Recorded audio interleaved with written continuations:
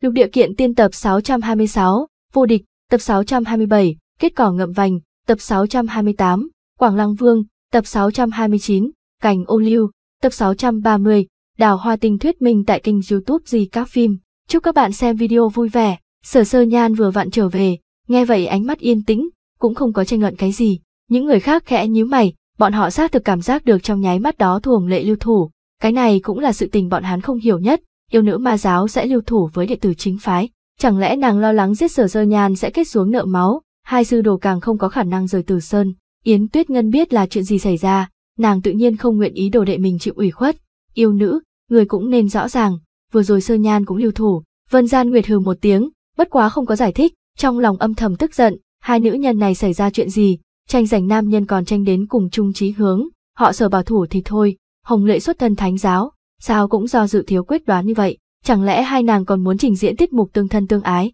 trong lòng nàng phiền não, vung tay áo nói, được được, hai nàng sàn sàn nhau, bất phân thắng bại các người hẳn nhận đi, chúng ta đã không thua, vậy có thể đi hay không? Các tông chủ trao đổi ánh mắt, lúc này ép nàng ở lại xác thực mất thân phận, nhưng nếu thả nàng rời đi, mặt mũi mọi người để vào đâu? Lúc này Tổ An mở miệng, Vân giáo chủ, trước đó các người đã lập xuống đổ, ước, ta cũng không tiện nói gì, bất quá lần sau nếu gặp lại mà nói, ta sẽ không dễ dàng để ngươi rời đi như vậy. Vân Gian Nguyệt hừ một tiếng, tên tiểu bạch kiểm ngươi khẩu khí thật lớn, lời này hoàng đế của ngươi nói còn tạm được, bất quá hôm nay bổn tọa tâm tình tốt, không so đo với các ngươi, lần sau gặp lại, ngươi cũng đừng cầu xin tha thứ. Vừa dứt lời, nàng phất ống tay áo, cả người biến mất ở phía xa, Yến Tuyết Ngân oán thầm không thôi, hai người này giả còn rất giống, nếu không phải mình biết giao tình của bọn họ, nói không chừng còn bị bọn họ lừa. Lúc này quan sầu hay nhìn Tổ An, cao mày nói, Tổ đại nhân, người thả yêu nữ đi như vậy, chỉ sợ có chút không ổn, không ít người thầm mắng, thật là một lão hồ ly, vừa lên đã muốn nổi vung cho tờ An. Bất quá như vậy sẽ bảo vệ được mặt mũi của đạo môn, dù sao bọn họ cũng phải nghe theo triều đình quản lý nha.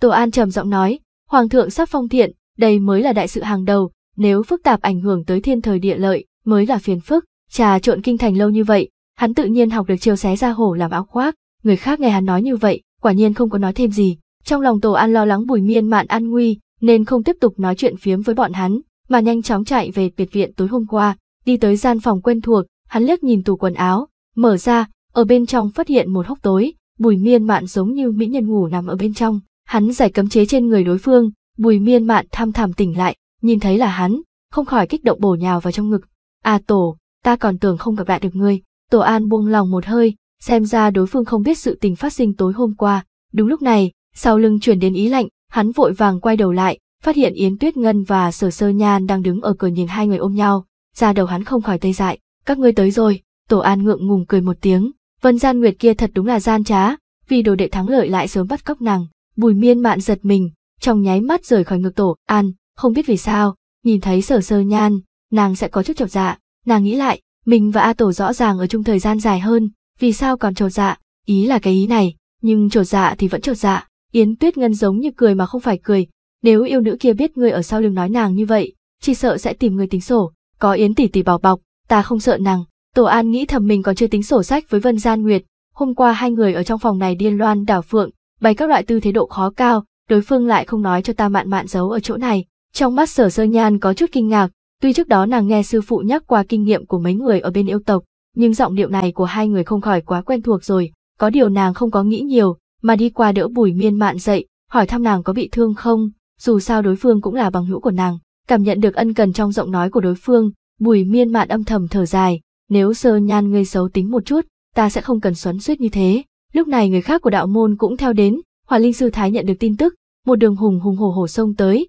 nhìn thấy bùi miên mạn bình yên vô sự, nàng đi nhanh qua ôm nàng vào trong ngực, kích động đến nói không ra lời, thấy khóe mắt nàng ẩn ẩn lệ quang, tổ an nghĩ thầm trước đó còn có chút bất mãn với nàng, có điều đối phương là thật tốt với mạn mạn, thân thế của mạn mạn đặc thù, tuy xuất thân bùi ra, nhưng cơ bản không có cảm thụ qua thân tình ấm áp, bây giờ âm mưu của yêu nữ ma giáo thất bại, bùi cô nương trở về, tất cả đều vui vẻ, quan sầu hải cười nói, rất nhanh lại nghĩ tới một vấn đề khác, bất quá quán quân thi đấu lần này tính toán như thế nào, hỏa linh sư thái trừng mắt, mạn mạn đã đến trận chung kết, đối thủ là yêu nữ ma giáo, nàng đã chạy, vô địch tự nhiên là mạn mạn, lúc này phùng vô thường nói, tính như vậy không ổn đâu, theo ta thấy, cần phải bổ khuyết trận cuối cùng, ngô tiểu phàm vô luận là nhân phẩm hay tu vi mọi người đều rõ như ban ngày, để hắn tiến vào trận chung kết thay thu hồng lệ, ta cảm thấy rất thích hợp, mục động chủ trầm giọng nói, Thái huyền động thạch đỉnh thiên của chúng ta cũng chỉ thua ở trong tay yêu nữ kia, vì sao ngô tiểu phàm có thể dự quyết tiến vào trận chung kết, nhưng thạch đỉnh thiên lại không được. Vương vô tà rốt cục mở miệng,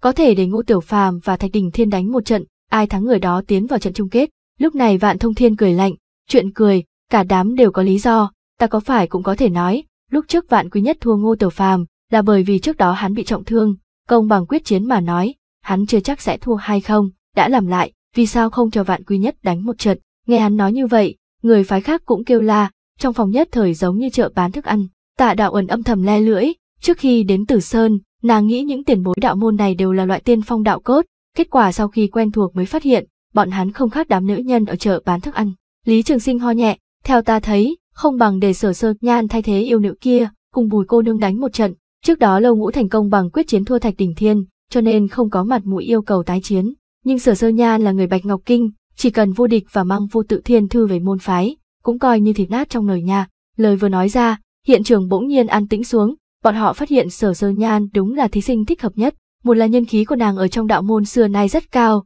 thứ hai vừa rồi cùng Thu Hồng Lệ đại chiến, mọi người nhìn ở trong mắt, thực lực tuyệt đối không có vấn đề. Nhưng lúc này sở sơ nhan mở miệng, ta không muốn tham gia tỷ thí, trước đó nhiệm vụ của ta là luận võ với thánh nữ ma giáo, ta đã hoàn thành nhiệm vụ, mặc kệ là vì tổ an, hay quan hệ giữa mình và bùi miên mạn, nàng đều không muốn đánh trận này, tổn thương hòa khí. Bùi miên mạn nghe vậy khẽ giật mình, ánh mắt nhìn về phía nàng nhất thời có chút phức tạp, nghe nàng không muốn đánh, không ít người nhất thời gấp, vội vàng khuyên nàng thay đổi chủ ý, chỉ bất quá sở sơ nhan giống như tảng băng, mặc những người này du thuyết, nàng không có một chút phản ứng, sơ nhan đã không muốn, các ngươi đừng miễn cưỡng nàng, Yến Tuyết Ngân tự nhiên rõ ràng tâm tư của đồ đệ, nghĩ thầm tổ an thật có phúc lớn, nữ nhân bên cạnh đấu thì đấu, nhưng thực chất đều rất thiện lương, nghe nàng nói như vậy, mọi người hành quân lặng lẽ, không tiện khuyên nữa, chỉ có quan sầu hài lầu bầu, nhưng nếu sở cô nương không tham gia, nhân tuyển khác rất khó phục chúng. Tổ An cười nói, chuyện nào có đáng gì, trực tiếp để bùi cô nương vô địch không phải được sao. Bùi miên bạn đỏ mặt, nếu không phải sợ mọi người thấy, chỉ sợ nàng đã đi kéo ống tay áo đối phương, chính nàng cũng không quá muốn cầm đệ nhất. Quan sầu Hải bất mãn nói, tuy tu vi của bùi cô nương không yếu, nhưng đoạn đường này tấn cấp đều là thăm trống, dựa vào chỉ là vận khí, không quá phục chúng. Hỏa linh sư thái bất mãn, hừ, nàng đánh bại đồ đệ của ngươi là thật không giả được, chẳng lẽ ngươi muốn nói đồ đệ của mình yếu hơn đệ tử thủ tịch khác rất nhiều. Quan sầu Hải nhất thời cứng họng, trích nhân mặt mũi u oán, những ngày nay mình thật vất vả mới đi ra bóng ma, không nghĩ tới lại bị lấy roi quất thi thể. Tổ An nói, dựa vào vận khí thì đã sao, tu hành thứ nhất xem cá nhân nỗ lực, thứ hai xem vận khí, bùi cô nương đánh bại trích nhân chứng minh thực lực, mặt khác một đường tham chống càng chứng minh khí vận mạnh hơn thường nhân, tương lai bất khả hạn lượng, tuyển nàng làm quán quân tuyệt đối không rơi mặt mũi của đạo môn các ngươi. Thấy mọi người còn do dự, Tổ An bổ sung, nếu quả thật để Ngô Tiểu Phàm, Thạch Đỉnh Thiên từng bại ở trong tay Thu Hồng Lệ làm quán quân, vậy sau này còn không bị ma giáo cười chết. Nghe hắn nói như vậy, người đạo môn tỉnh ngộ, không còn ai có tâm tư tranh đoạt nữa. Cứ như vậy, Bùi Miên Mạn đần độn u mê thu được quán quân,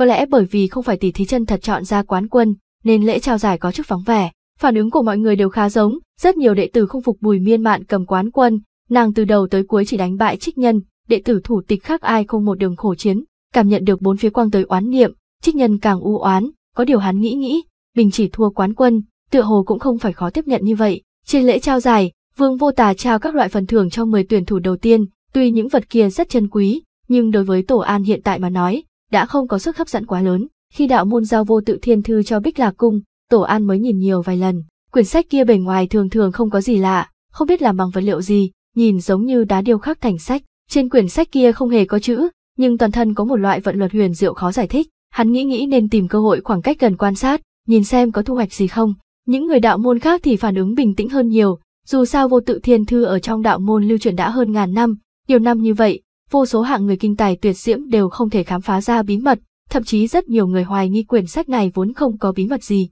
Giới sắc hỏi lão hòa thượng, sư phụ, ngươi biết bí mật vô tự thiên thư của đạo môn không? Nếu ta biết rõ mà nói, ta chính là người đứng đầu của đạo môn rồi, còn xuất ra làm gì? Giám hoàng đại sư tức giận nói, tựa hồ ghét bỏ tại sao đồ đệ lại hỏi ra một vấn đề ngu xuẩn như vậy. Phật ra chúng ta có tồn tại tương tự vô tự thiên thư của đạo môn không? Giới sắc nhìn thiên thư ở xa xa, hâm mộ không gì sánh được, đương nhiên là có, bối rìa pháp kinh là tồn tại có thể sánh vai với vô tự thiên thư của đạo môn. Bỗng nhiên sắc mặt của giám hoàng đại sư ảm đạm, chỉ tiếc ngay cả ta cũng chỉ nghe tên, chưa từng gặp qua vật ấy, thậm chí trên đời này, chỉ sợ không có đệ tử Phật môn nào chính thức gặp qua, đó không phải là không có sao, tiểu hòa thượng dưới sắc đỗ môi, giám hoàng đại sư cũng không có nói nhảm nhiều, trực tiếp cho hắn một cái cốc. Tiếp xuống Vương Vô Tà tuyên bố ngày thứ hai mở ra bí cảnh đạo môn, đệ nhất chín tiểu tổ, bốn người xếp thứ hai thành tích tốt nhất tiểu tổ, lại thêm sở sơ nhan, thu hoạch được tư cách tiến vào bí cảnh. Không minh đảo bành vô diễm thì lấy danh ngạch của Thu Hồng Lệ, mặc dù nàng không có thi đấu, nhưng dù sao cũng là đệ tử thủ tịch một phái, trong một danh ngạch mọi người sẽ không ai nói gì. Vạn quy nhất nhìn khuôn mặt quen thuộc của bành vô diễm, nhưng trong lòng cảm thấy lạ lẫm và nghi hoặc, rõ ràng dung mạo giống như đúc, vì sao mình không có cảm thấy đối phương có vẻ đẹp cường giả. Sau khi tuyên bố xong những tin tức này, mọi người dần dần tán đi, các phái đều muốn vì đệ tử mình chuẩn bị hành trình bí cảnh ngày mai. Đồng thời rất nhiều người sôi động thảo luận sự tình giáo chủ và thánh nữ ma giáo, tuy từng cái ở trên miệng vì đại nghĩa nói đến lòng đầy cam phẫn, nhưng rõ ràng nhìn ra được Vân Gian Nguyệt và Thu Hồng Lệ vẫn lưu lại ấn tượng sâu đậm ở lòng bọn họ. Nữ ma đầu giết người như ngoé, vậy mà đẹp như vậy, thánh nữ kia cũng là tuyệt sắc không thua gì sở tiên tử, hơn nữa vũ điệu kia thật làm cho người dư vị vô cùng. Tổ An trở lại phòng, trực tiếp mở ra hệ thống, trong khoảng thời gian này hết thảy tích lũy 84.593 điểm nộ khí, hắn dự định rút một chút vật phẩm như tin xuân ca giao cho hai nữ sở bùi, dù sao bí cảnh đạo môn lần này hắn không có cách nào đi vào, không thể ở một bên chiều ứng, tùy lấy tu vi của hai nữ, cũng không đến mức có nguy hiểm gì, nhưng sự tình trong bí cảnh ai cũng không nói chắc được, hắn vẫn quyết định cẩn thận là hơn, đè xuống nút rút thường, các loại cảm ơn tham dự không ngừng xuất hiện, đã không thể gây nên gợn sóng trong lòng hắn. Cuối cùng con trỏ dừng lại trên phím giờ, chúc mừng rút chúng Mỹ danh thẻ, có thể trong thời gian ngắn đổi tên cho người. Đây cũng không phải lần thứ nhất rút chúng cái thẻ này, trước đó còn rút được một lần, vốn cho rằng thẻ này gân gà, nhưng lần trước ở trong bí cảnh đối phó Hạ Kiệt, phát hiện cái đồ chơi này dùng lúc phù hợp, còn có thể sinh ra kỳ hiệu. Nếu là lúc trước rút được thẻ kỹ năng hắn tự nhiên cao hứng, nhưng lần này hắn cao hứng không nổi, bởi vì hắn không có rút được linh dược chữa thương hoặc đồ vật phòng thân mình cần. Không biết vì sao, nghĩ đến bí cảnh đạo môn lần này, mí mắt hắn co giật, dường như sẽ có sự tình không tốt gì phát sinh. Đúng lúc này, cửa vang lên tiếng đập cửa nhẹ nhàng, Tổ An ngẩng đầu nhìn, phát hiện Tạ Đạo ẩn đang nhút nhát đứng ở cửa ra vào. Lệnh Nhi muội muội, có việc gì thế? Tổ An cười hỏi. Tạ Đạo ẩn có chút do dự, từ trong ngực lấy ra hai tấm phủ lục. Tổ đại ca, ta có hai tấm nhất tuyến sinh cơ phủ do chính mình vẽ, tuy hiệu quả kém lão sư, nhưng cũng có thể chống cự một số nguy cơ. Ngươi cầm lấy đưa cho sở cô nương và bùi cô nương đi.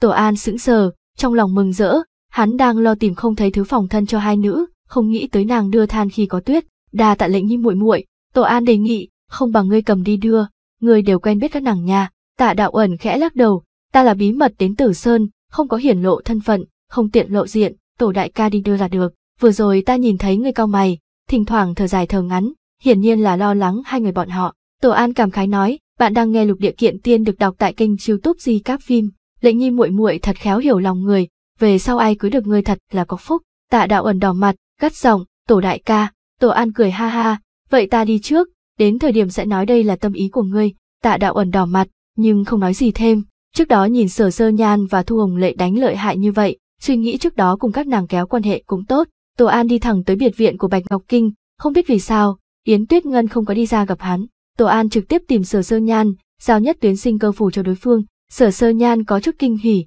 cảm ơn. Tổ An nói cho nàng đây là tạ đạo ẩn tặng, biểu lộ của sở sơ nhan có chút cổ quái, bất quá vẫn nói, thay ta cảm ơn nàng, năm đó ở Minh Nguyệt Thành đã cảm thấy nàng là người rất tốt, một chút giá đỡ cũng không có, hai người trò chuyện một hồi, bất chi bất giác trò chuyện tới tỉ thí hôm nay, ngươi không có bị thương chứ, sở sơ nhan khẽ lắc đầu, không có, tuy ta và thu cô nương đánh rất hung, nhưng chúng ta đều không chính thức hạ độc thủ, cho nên trên tổng thể là hữu kinh vô hiểm, Tổ An cười ha ha, vậy thì tốt, vậy thì tốt, bỗng nhiên sở sơ nhan cảm khái nói, ai, ban đầu ở Minh Nguyệt Thành, nàng luôn khóc lóc hô hào gọi ta tỷ tỷ, muốn làm tiểu thiếp của ngươi, kết quả lần này lại tranh làm tỷ tỷ, sớm biết như vậy, lúc trước đáp ứng nàng thì tốt biết mấy. Tổ An nhất thời đổ mồ hôi như thác, nghĩ thầm tuy mặt ngoài nàng lãnh đạm bình tĩnh, nhưng tâm lý đoán chừng rất khó chịu, vội vàng dùng tất cả vốn liếng, lúc này mới miễn cưỡng chấn an nàng. Cách một hồi bỗng nhiên sở sơ nhan mở miệng, đi chỗ mạn mạn đi, ngươi hẳn cũng chuẩn bị cho nàng linh phù kia. Tổ An cười ngượng nói, không phải ta chuẩn bị, là tạ tiểu thư chuẩn bị,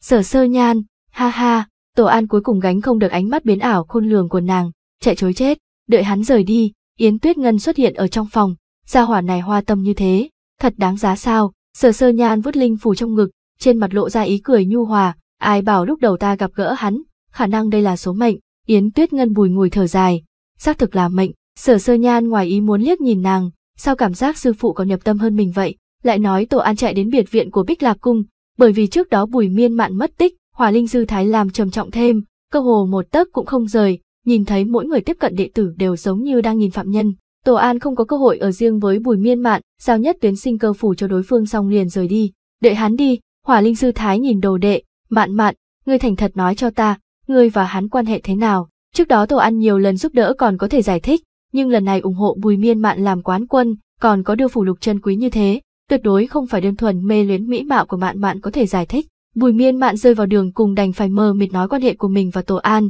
dù sao tương lai nếu một mực bị sư phụ ngăn cản, suy nghĩ một chút đã thấy khó chịu, nam nhân không có ai là tốt. Sau khi biết quan hệ thầm kín của hai người, Hỏa Linh sư thái sợ hãi, có một loại cảm giác cải trắng mình chồng bị hao ủi, bất quá nghĩ tới những ngày qua Tổ An giúp đỡ, nàng vẫn bổ sung một câu, tiểu tử này cũng không tệ, tốt hơn hỗn đàn vạn thông thiên kia rất nhiều. Sau đó cao mày nói, bất quá hơi hoa tâm, trước đó nghe đồn hắn và họ sở của Bạch Ngọc Kinh không minh bạch, Bùi Miên Mạn cẩn thận từng ly từng tí giải thích, trước kia bọn họ từng là vợ chồng, còn chưa nói xong Hỏa Linh sư thái nhất thời kinh hô, không được không được, chẳng phải ngươi sẽ làm thiếp, điều kiện của ngươi như vậy, đáng giá theo một nam nhân không toàn tâm toàn ý với ngươi sao? Bọn họ đã ly hôn, vậy cũng không được, hàng nữ nhân khác không muốn, ngươi muốn làm gì, không thể nói như thế. Sáng sớm hôm sau, các tông tề tụ ở trên kim đỉnh, trưởng lão chính dương tông đi ra mở bí cảnh, lúc này tổ an mới kinh ngạc phát hiện, cái gọi là bí cảnh đạo môn kia, lại giấu ở trong vô tự thiên thư, chỉ thấy vô tự thiên thư mở ra, đám đạo sĩ kia thao tác một trận, trên thiên thư nổi lên từng đạo quang mang màu lam,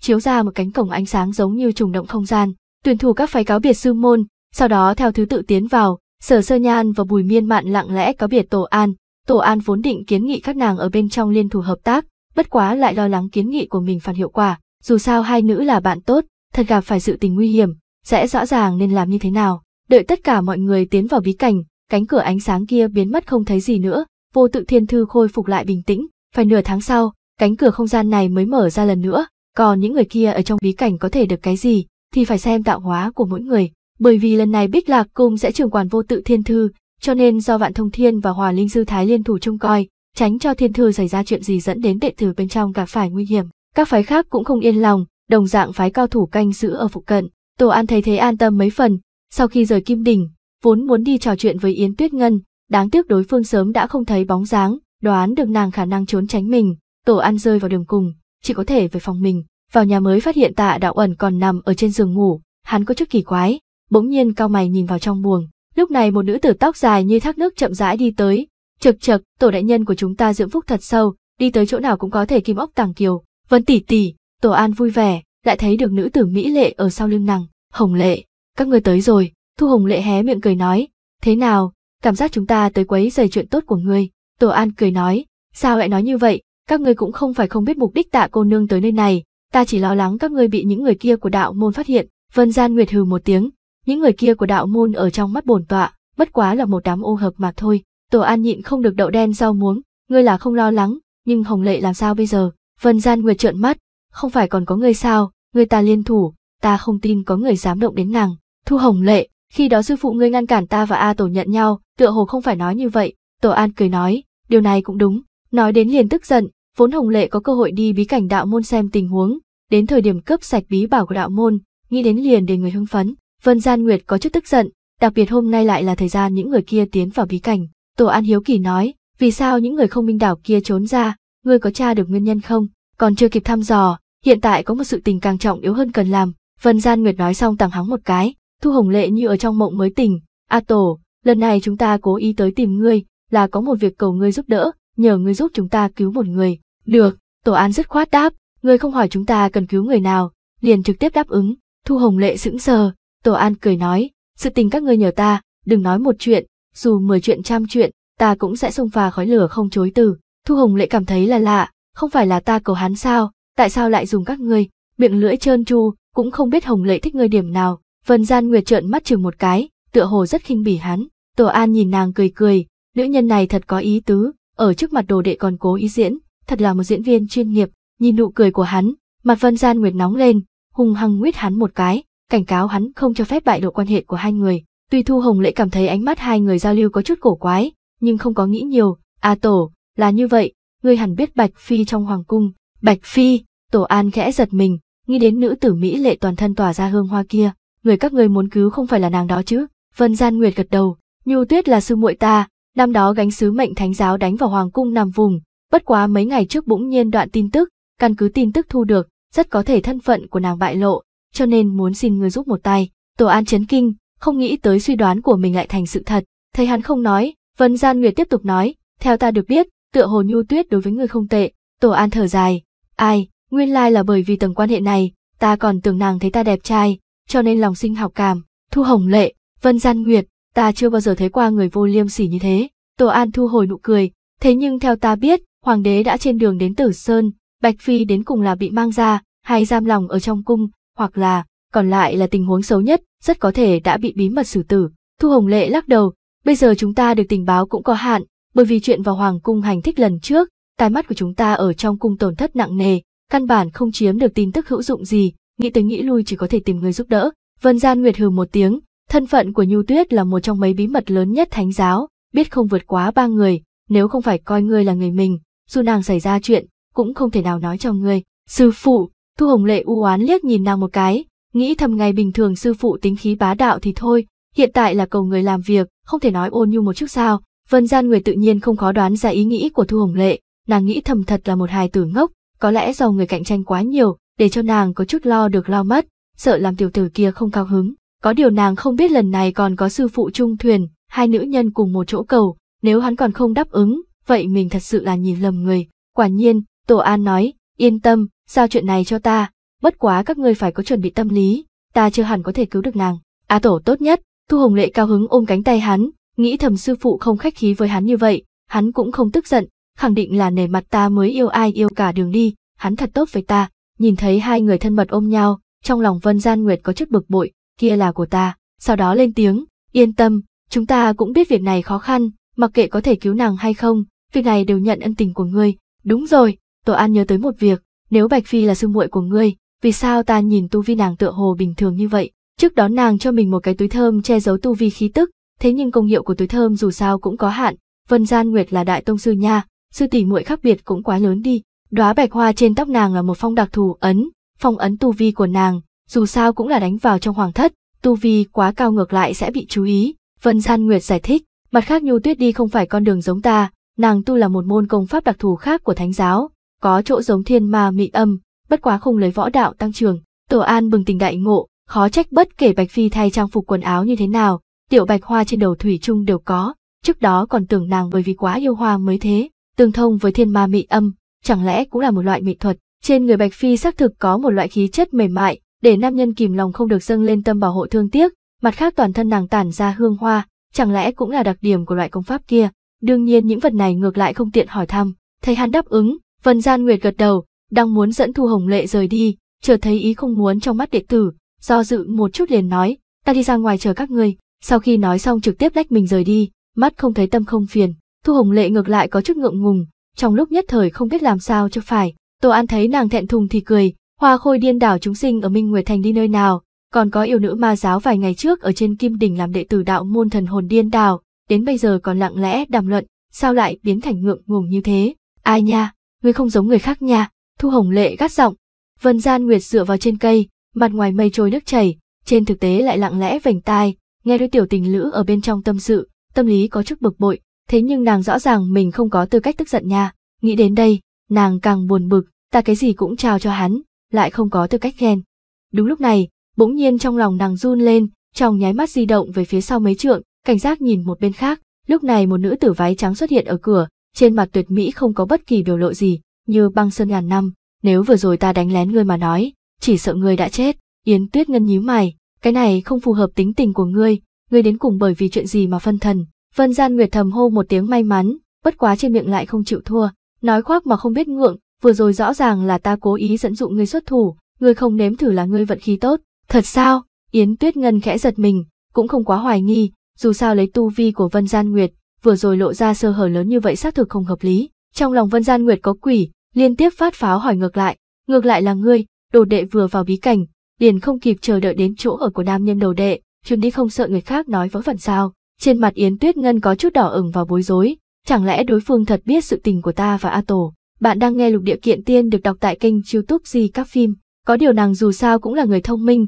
lập tức chấn định lại, có ít người không phải cũng chạy tới chỗ nam nhân của đồ đệ. Vân gian người giật mình, trong lúc nhất thời hai nữ tâm tư hỗn loạn, cứng lại ở đó. May mắn Tổ An ở bên trong nghe được động tĩnh đi ra xem xét, nhìn thấy Yến Tuyết Ngân đến, trong lòng hắn vui vẻ, Yến tỷ tỷ, người cũng tới, Yến Tuyết Ngân nhìn thấy Thu Hồng Lệ cơ hồ nửa người dựa vào trong ngực hắn, vẻ mặt không khỏi xương lạnh, "Tổ đại nhân, ngươi thân là mệnh quan triều đình, lại cùng những yêu nữ ma giáo này pha trộn, hơn nữa bây giờ ở trên núi, cao thủ đạo môn tề tụ, nếu bọn họ biết, đến thời điểm ngươi làm sao tự xử, bằng thạch nữ, miệng sạch sẽ một chút, dùng những cái kia hù dọa ai đó, hắn và Hồng Lệ trai tài gái sắc, lưỡng tình tương duyệt, sẽ để ý người khác nói này nói kia. Vân Gian Nguyệt khó chịu, luôn cảm thấy nàng là dùng danh phận đại nghĩa giúp đồ đệ của mình tranh giành nam nhân. Yến Tuyết Ngân cao mày, sắc mặt càng băng lãnh, cảm nhận được nhiệt độ trong sân đột nhiên hạ xuống, Thu Hồng Lệ không tiện thân mật với Tổ An, vội vàng chui ra khỏi ngực hắn, sau đó cung kính thi lễ với Yến Tuyết Ngân. Ngày hôm trước đà tạ Yến tiền bối và sở cô nương giơ cao đánh khẽ, Yến Tuyết Ngân từ tốn nói, ta không giống ra hỏa sắc dục hôn tâm nào đó, làm sao có khả năng cố ý buông thang ngươi. Vân Gian Nguyệt cười nói, băng thạch những người luôn dối trá như vậy, rõ ràng làm còn không thừa nhận, trước đó ngươi xác thực không cùng những người kia ra tay với ta, ta vẫn nhận ân tình của ngươi, lần sau ngươi bị thánh giáo vây giết, ta cũng sẽ tha cho ngươi một mạng, không cần. Yến Tuyết Ngân trực tiếp bác bỏ, hai người cãi nhau thì cãi nhau, nhưng đều rất rõ ràng, trải qua sự tình kề vai chiến đấu ở trong bí cảnh yêu tộc lần trước, xác thực không làm được liên hợp người khác đối phó nhau. Đương nhiên song phương chính tà bất lưỡng lập, thời điểm công bằng quyết đấu, nên đánh vẫn sẽ đánh. Vân Gian Nguyệt khinh bỉ liếc nhìn nàng một cái, nếu ngươi tìm nam nhân, sớm muộn gì cũng bởi vì tính tình khẩu thị tâm phi này mà mất người yêu. Bất quá sau khi nói xong, chính nàng lại bật cười, nếu Yến Tuyết Ngân muốn tìm nam nhân, chỉ sợ chờ xếp hàng có thể từ từ sơn một mực xếp tới kinh thành, người nào bỏ được ném nàng. Người nói vô tâm người nghe hữu ý, Yến Tuyết Ngân lại như bị nói trúng tâm sự, trong lúc nhất thời vẻ mặt hốt hoảng, bởi vì nàng ở chỗ này, sư đồ Vân Gian Nguyệt không cách nào nói chính sự với Tổ An, lại thêm ma giáo còn có rất nhiều sự tình cần giải quyết, vì vậy tìm lý do rời đi. Rất nhanh trong sân chỉ còn lại Tổ An và Yến Tuyết Ngân, ta còn tưởng ngươi sẽ không tìm ta nữa. Tổ An cười rất vui vẻ, dù sao trước đó tìm đối phương, nàng lại có xu thế tránh mà không gặp. Trong lòng Yến Tuyết Ngân giật mình, vội vàng nói, lần này ta tới tìm ngươi là có chính sự muốn nói, ta cảm thấy hiện tại Vương Vô Tà có vấn đề, có vấn đề gì? Tổ An sững sờ, thấy thần sắc nàng trịnh trọng, cũng không dám nói đùa nữa. Yến Tuyết Ngân nhẹ trao mày, ngươi nghĩ một chút, trước đó thời điểm Vân Gian Nguyệt bại lộ, Vương Vô Tà thân là lãnh tụ đạo môn, hắn nói có phải quá ít hay không? Tổ An hồi tưởng tình hình trước đó, đồng ý gật đầu, lúc đó cảm giác tồn tại của Vương Vô Tà thậm chí còn không bằng quan tâm phong vùng vô thường, mà thời điểm Vân Gian Nguyệt động thủ với Phùng Vô Thường, Vương Vô Tà cũng không giúp đỡ, ngược lại là giám hoàng đại sư cứu Phùng Vô Thường, còn có đằng sau mở ra bí cảnh, cảm giác tồn tại của Vương Vô Tà cũng quá mỏng manh, ta luôn cảm thấy hắn là lạ, dù Yến Tuyết Ngân nhíu mày, nhìn cũng rất đẹp mắt, Tổ An cười nói, có lẽ mấy ngày nay trạng thái của hắn không tốt, hắn đã nói đại điển phong thiện đằng sau, chú thích, đại lễ tế trời phải phối hợp hoàng đế làm chuyện gì đó, khả năng không có tâm tư ở trên đạo môn thi đấu, tu vi của hắn cao như vậy, cũng không thể còn có người giống Vân Gian Nguyệt giả mạo hắn chứ, giả mạo thì không đến nỗi, hắn có lẽ vẫn là vương vô tà, nhưng ta luôn cảm thấy là lạ. Yến Tuyết Ngân muốn nói lại thôi, cuối cùng nàng vẫn nói, ngươi hẳn có nghe thấy, năm đó vương vô tà truy cầu ta, nào chỉ là truy cầu, quả thực là mê luyến điên cuồng. Tổ An nghĩ đến các loại tin đồn, kìm lòng không được cảm khái, dù sao người nào cũng không muốn nữ nhân của mình bị nam nhân khác nhớ thương, đây chẳng qua là hắn đơn phương hành động, ta cho tới bây giờ không từng ưa thích hắn. Yến Tuyết Ngân vội vàng giải thích, sau khi nói xong chính mình cũng sững sờ, ta cần gì phải giải thích rõ ràng như vậy, cảm nhận được nàng vội vàng giải thích, trong lòng Tổ An có chút cao hứng, hắn thích ngươi và sự tình ngươi nói có liên hệ gì. Yến Tuyết Ngân đỏ mặt, có chút ngượng ngùng nói, lần này tới Tử Sơn, ta có thể rõ ràng cảm giác được vương vô ta không cuồng nhiệt như năm đó, có điều hắn vẫn thỉnh thoảng dùng một loại, ánh mắt kỳ quái dò xét ta, ta không muốn cùng hắn có hiểu lầm gì, cho nên mỗi lần đều làm như không thấy, bất quá những ngày này hắn không nhìn ta một lần. Tổ An nhịn không được bật cười, một người mê luyến người không còn mê luyến người giống như trước đó, có phải rất thất lạc hay không? Nói đến loại ánh mắt hen tài kia của Vương Vô Tà, hắn cũng gặp qua mấy lần, ngược lại ấn tượng sâu hơn. Yến Tuyết Ngân nghiêm mặt, ta là nói chuyện đứng đắn với ngươi, ngươi còn như vậy ta sẽ tức giận. Lúc này Tổ An mới thu hồi tâm tư trêu đùa, nói như vậy xác thực rất kỳ quái, không bằng buổi tối chúng ta đi thuần dương điện điều tra một chút. Yến Tuyết Ngân lắc đầu, được rồi, tu vi của Vương Vô Tà rất cao, nếu chúng ta đi bị hắn phát hiện, ngược lại sẽ dẫn ra một ít chuyện. Nàng không muốn mình và Tổ An quan hệ mật thiết bị người đạo môn biết được. Tổ An khẽ giật mình. Nếu ngươi không muốn cha, còn cố ý tới nói chuyện này làm gì? Yến Tuyết Ngân từ tốn nói, chỉ để tình ngươi một câu mà thôi. Nói xong trực tiếp phẩy tay áo bỏ đi. Đến từ Yến Tuyết Ngân, điểm nộ khí cộng 222 cộng 222 cộng 222. Nhìn nàng biến mất không thấy gì nữa. Tổ An kỳ quái, sao đột nhiên nàng lại tức giận, cách một hồi rốt cục kịp phản ứng.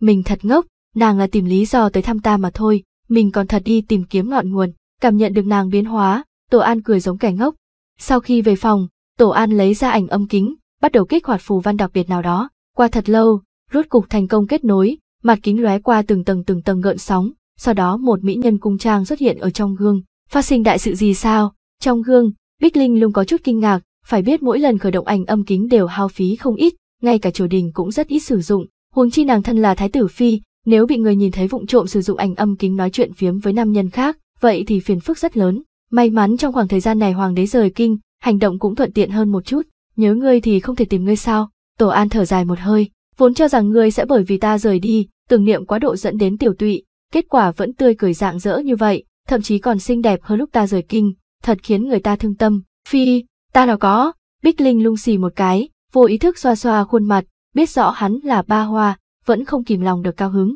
Ngược lại ngươi mặt mày hồng hào, đoán chừng bên người không thiếu hồng nhan chi kỳ. Tổ An thầm kêu một tiếng hổ thẹn, nhưng miệng khẳng định là không thể thừa nhận. Hai người trò chuyện một lúc, Tổ An rốt cục nói bóng nói gió hỏi thăm sự tình Bạch Phi. Bích Linh lung nghe xong sắc mặt đanh lại, ta nói vì sao ngươi lại liên hệ ta, nguyên lai là vì nữ nhân khác. Hình ảnh mơ hồ, ảnh âm kính trực tiếp biến thành tấm gương bình thường, hiển nhiên là Bích Linh lung đóng trò chuyện. Tổ An, cách một hồi, bỗng nhiên ảnh âm kính chấn động, bên kia đang kêu gọi hắn. Tổ An kích mở, khuôn mặt Bích Linh lung xương lạnh xuất hiện ở trong hình ảnh. Lúc Hoàng thượng rời kinh để Bạch Phi đi theo, ngay cả ta cũng không biết, Bích Linh lung lạnh lùng nói. Tổ An giật mình, Hoàng đế xuất hành, không phải nên mang phi tần của mình sao, mang con dâu còn thể thống gì. Bích Linh lung bất mãn cải chính, con dâu của Hoàng thượng chỉ có ta, Bạch Phi chỉ là chắc phi của Thái tử mà thôi, mặc dù mang nàng có chút không ổn, nhưng cũng không phải sự tình gì không thể. Sau đó nàng nói tiếp, huống chi trước kia Bạch Phi vốn là người bên cạnh Hoàng thượng, là lo lắng Thái tử, ngu dốt, mới phái nàng tới hầu hạ Thái tử,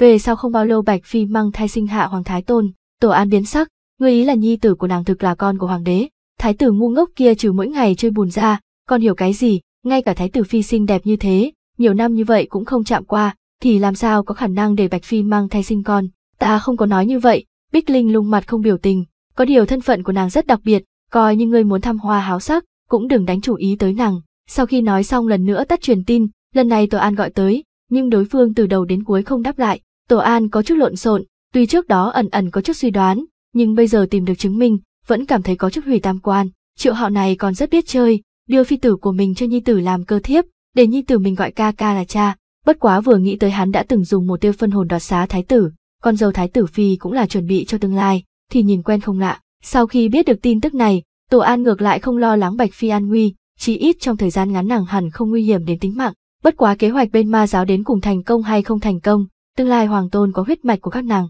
nghĩ đến quan hệ phức tạp bên trong, sau một lúc lâu Tổ An thở dài, trong vòng quyền quý thật loạn, bây giờ trên Tử Sơn đã không có việc gì, Sở Sơ Nhan và Mạn Mạn đến vào bí cảnh, trong thời gian ngắn cũng không ra được, vì vậy hắn quyết định mượn báo cáo công tác làm lý do đi nghênh đón đội ngũ của hoàng đế, thuận tiện điều tra sự tình Bạch Phi. Thân phận Bạch Phi nhạy cảm như vậy, hoàng đế không có khả năng giao nàng cho thần tử xử lý, hơn phân nửa sẽ mang theo bên người. Hắn gọi tạ đạo ẩn tỉnh lại, nói cho nàng biết hướng đi của mình, suy nghĩ có nên thuận tiện hộ tống nàng trở về hay không. Kết quả tạ đạo ẩn lắc đầu nói, lão sư giao cho ta nhiệm vụ còn chưa làm xong, ta còn phải ở từ sơn nán lại một đoạn thời gian. Tô An hơi kinh ngạc, nhan tiện cổ đến cùng giao cho nàng nhiệm vụ gì, có điều hắn không tiện hỏi nhiều, căn dặn đối phương vài câu liền rời đi. Trước khi đi lại chạy tới biệt viện cáo biệt Yến Tuyết Ngân, đương nhiên lý do là bên hoàng đế điều động. Sau khi Yến Tuyết Ngân nghe xong lạnh nhạt nói, ngươi muốn đi thì đi, nói cho ta làm gì. Tô An nhìn chằm chằm gương mặt hoàn mỹ không một tì vết kia, còn không phải sợ thời điểm ngươi muốn tìm ta lại tìm không thấy, ai muốn tìm ngươi. Yến Tuyết Ngân nhớ mày, trực tiếp xoay người sang chỗ khác. Tổ An biết tính tình của nàng như thế, cũng không để bụng, nhìn nàng phất phất tay, liền đi ra ngoài, tự mình cẩn thận, sau lưng truyền đến tiếng can dặn nhu hòa. Được, Tổ An nhất thời cảm thấy tâm tình tốt hơn rất nhiều, quay đầu lại nhìn nàng giang hai tay, lần này không biết phải phân biệt bao lâu, có thể ôm một cái xem như tiễn biệt không, vốn cho rằng đối phương sẽ bảo cút, ai ngờ Yến Tuyết Ngân do dự một chút, vẫn chậm rãi đi tới, nhẹ nhàng ôm hắn, nàng biết tu vi của Tổ An bây giờ sẽ không có nguy hiểm gì, nhưng lần này đối mặt là Triệu Hạo, đặc biệt nghĩ đến lời bình của Vân Gian Nguyệt, nàng không hiểu lo lắng bỏ lỡ cơ hội vãn hồi tiếp nối lần này, cảm nhận được thân thể mềm mại trong ngực, Tổ An đầu tiên là sững sờ, sau đó cuồng hỉ, chăm chú ôm nàng vào trong ngực, Yến Tuyết Ngân xấu hổ, bản năng muốn đẩy hắn ra, nhưng không ngăn nổi đối phương ôm chặt, động tác của nàng cũng dần dần không còn kiên quyết như vậy. May mắn chỗ này không có đệ tử Bạch Ngọc Kinh, Sơ Nhan cũng đến bí cảnh, hai người yên tĩnh ôm nhau, bên ngoài trời chiều chiếu vào, làm bóng ảnh hai người kéo dài, nhìn cái bóng ôm nhau trên mặt đất,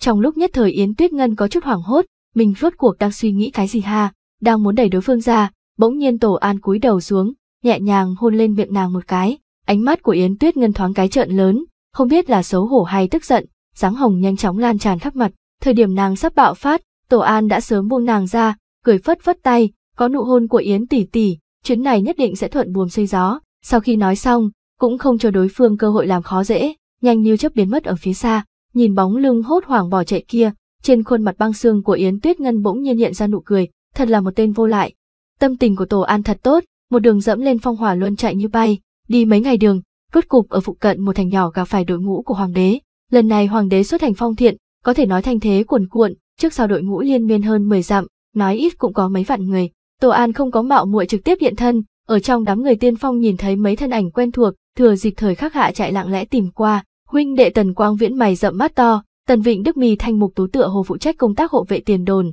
thậm chí ngay cả đại tiểu thư mộ dung gia cũng có, nàng mặc quân phục, phối hợp da thịt màu vàng nhạt, quả nhiên là tư thế hiên ngang. Mấy người đang tràn đầy phấn khởi thương thảo thủ tục hành quân, nhìn thấy Tổ An đến không khỏi giật mình. Bất quá xa cách từ lâu gặp lại, đặc biệt là mọi người có quan hệ thân thích, rất nhanh liền cao hứng trở lại, nhất là mộ dung thanh hà, có lẽ bởi vì sở ấu chiêu nên yêu ai yêu cả đường đi, nhìn thấy hắn thì cực kỳ vui vẻ, tiếc nuối duy nhất là lần này sở ấu chiêu không đi cùng. Tổ An tự nhiên rõ ràng nguyên nhân, sở ấu chiêu dù sao cũng là nữ giả nam trang, ở kinh thành có tần gia yểm hộ, còn có thể giả trang, nếu thời gian dài ở bên ngoài hành quân, thì rất khó giấu giếm thân phận nữ nhi của mình. Sau một phen nói chuyện với nhau, Tổ An từ trong miệng bọn họ đại khái biết lần này đội ngũ phong thiện của hoàng đế khổng lồ cỡ nào, trừ hoàng hậu phải dưỡng bệnh ra, nhân vật đỉnh cấp khác ở kinh thành cơ bản đều đi theo, hơn nữa đều xem như người quen cũ. Tề Vương Triệu Cảnh đi cùng, bất quá Tề Vương Thế tử Triệu Trị không có đi theo, nghĩ đến là lo lắng bị tận diệt. Thượng thư lệnh Bùi Minh, nói đến xem như bá gia gia của Đại Mạn Mạn, thượng thư hữu phó dạ Bích Tề,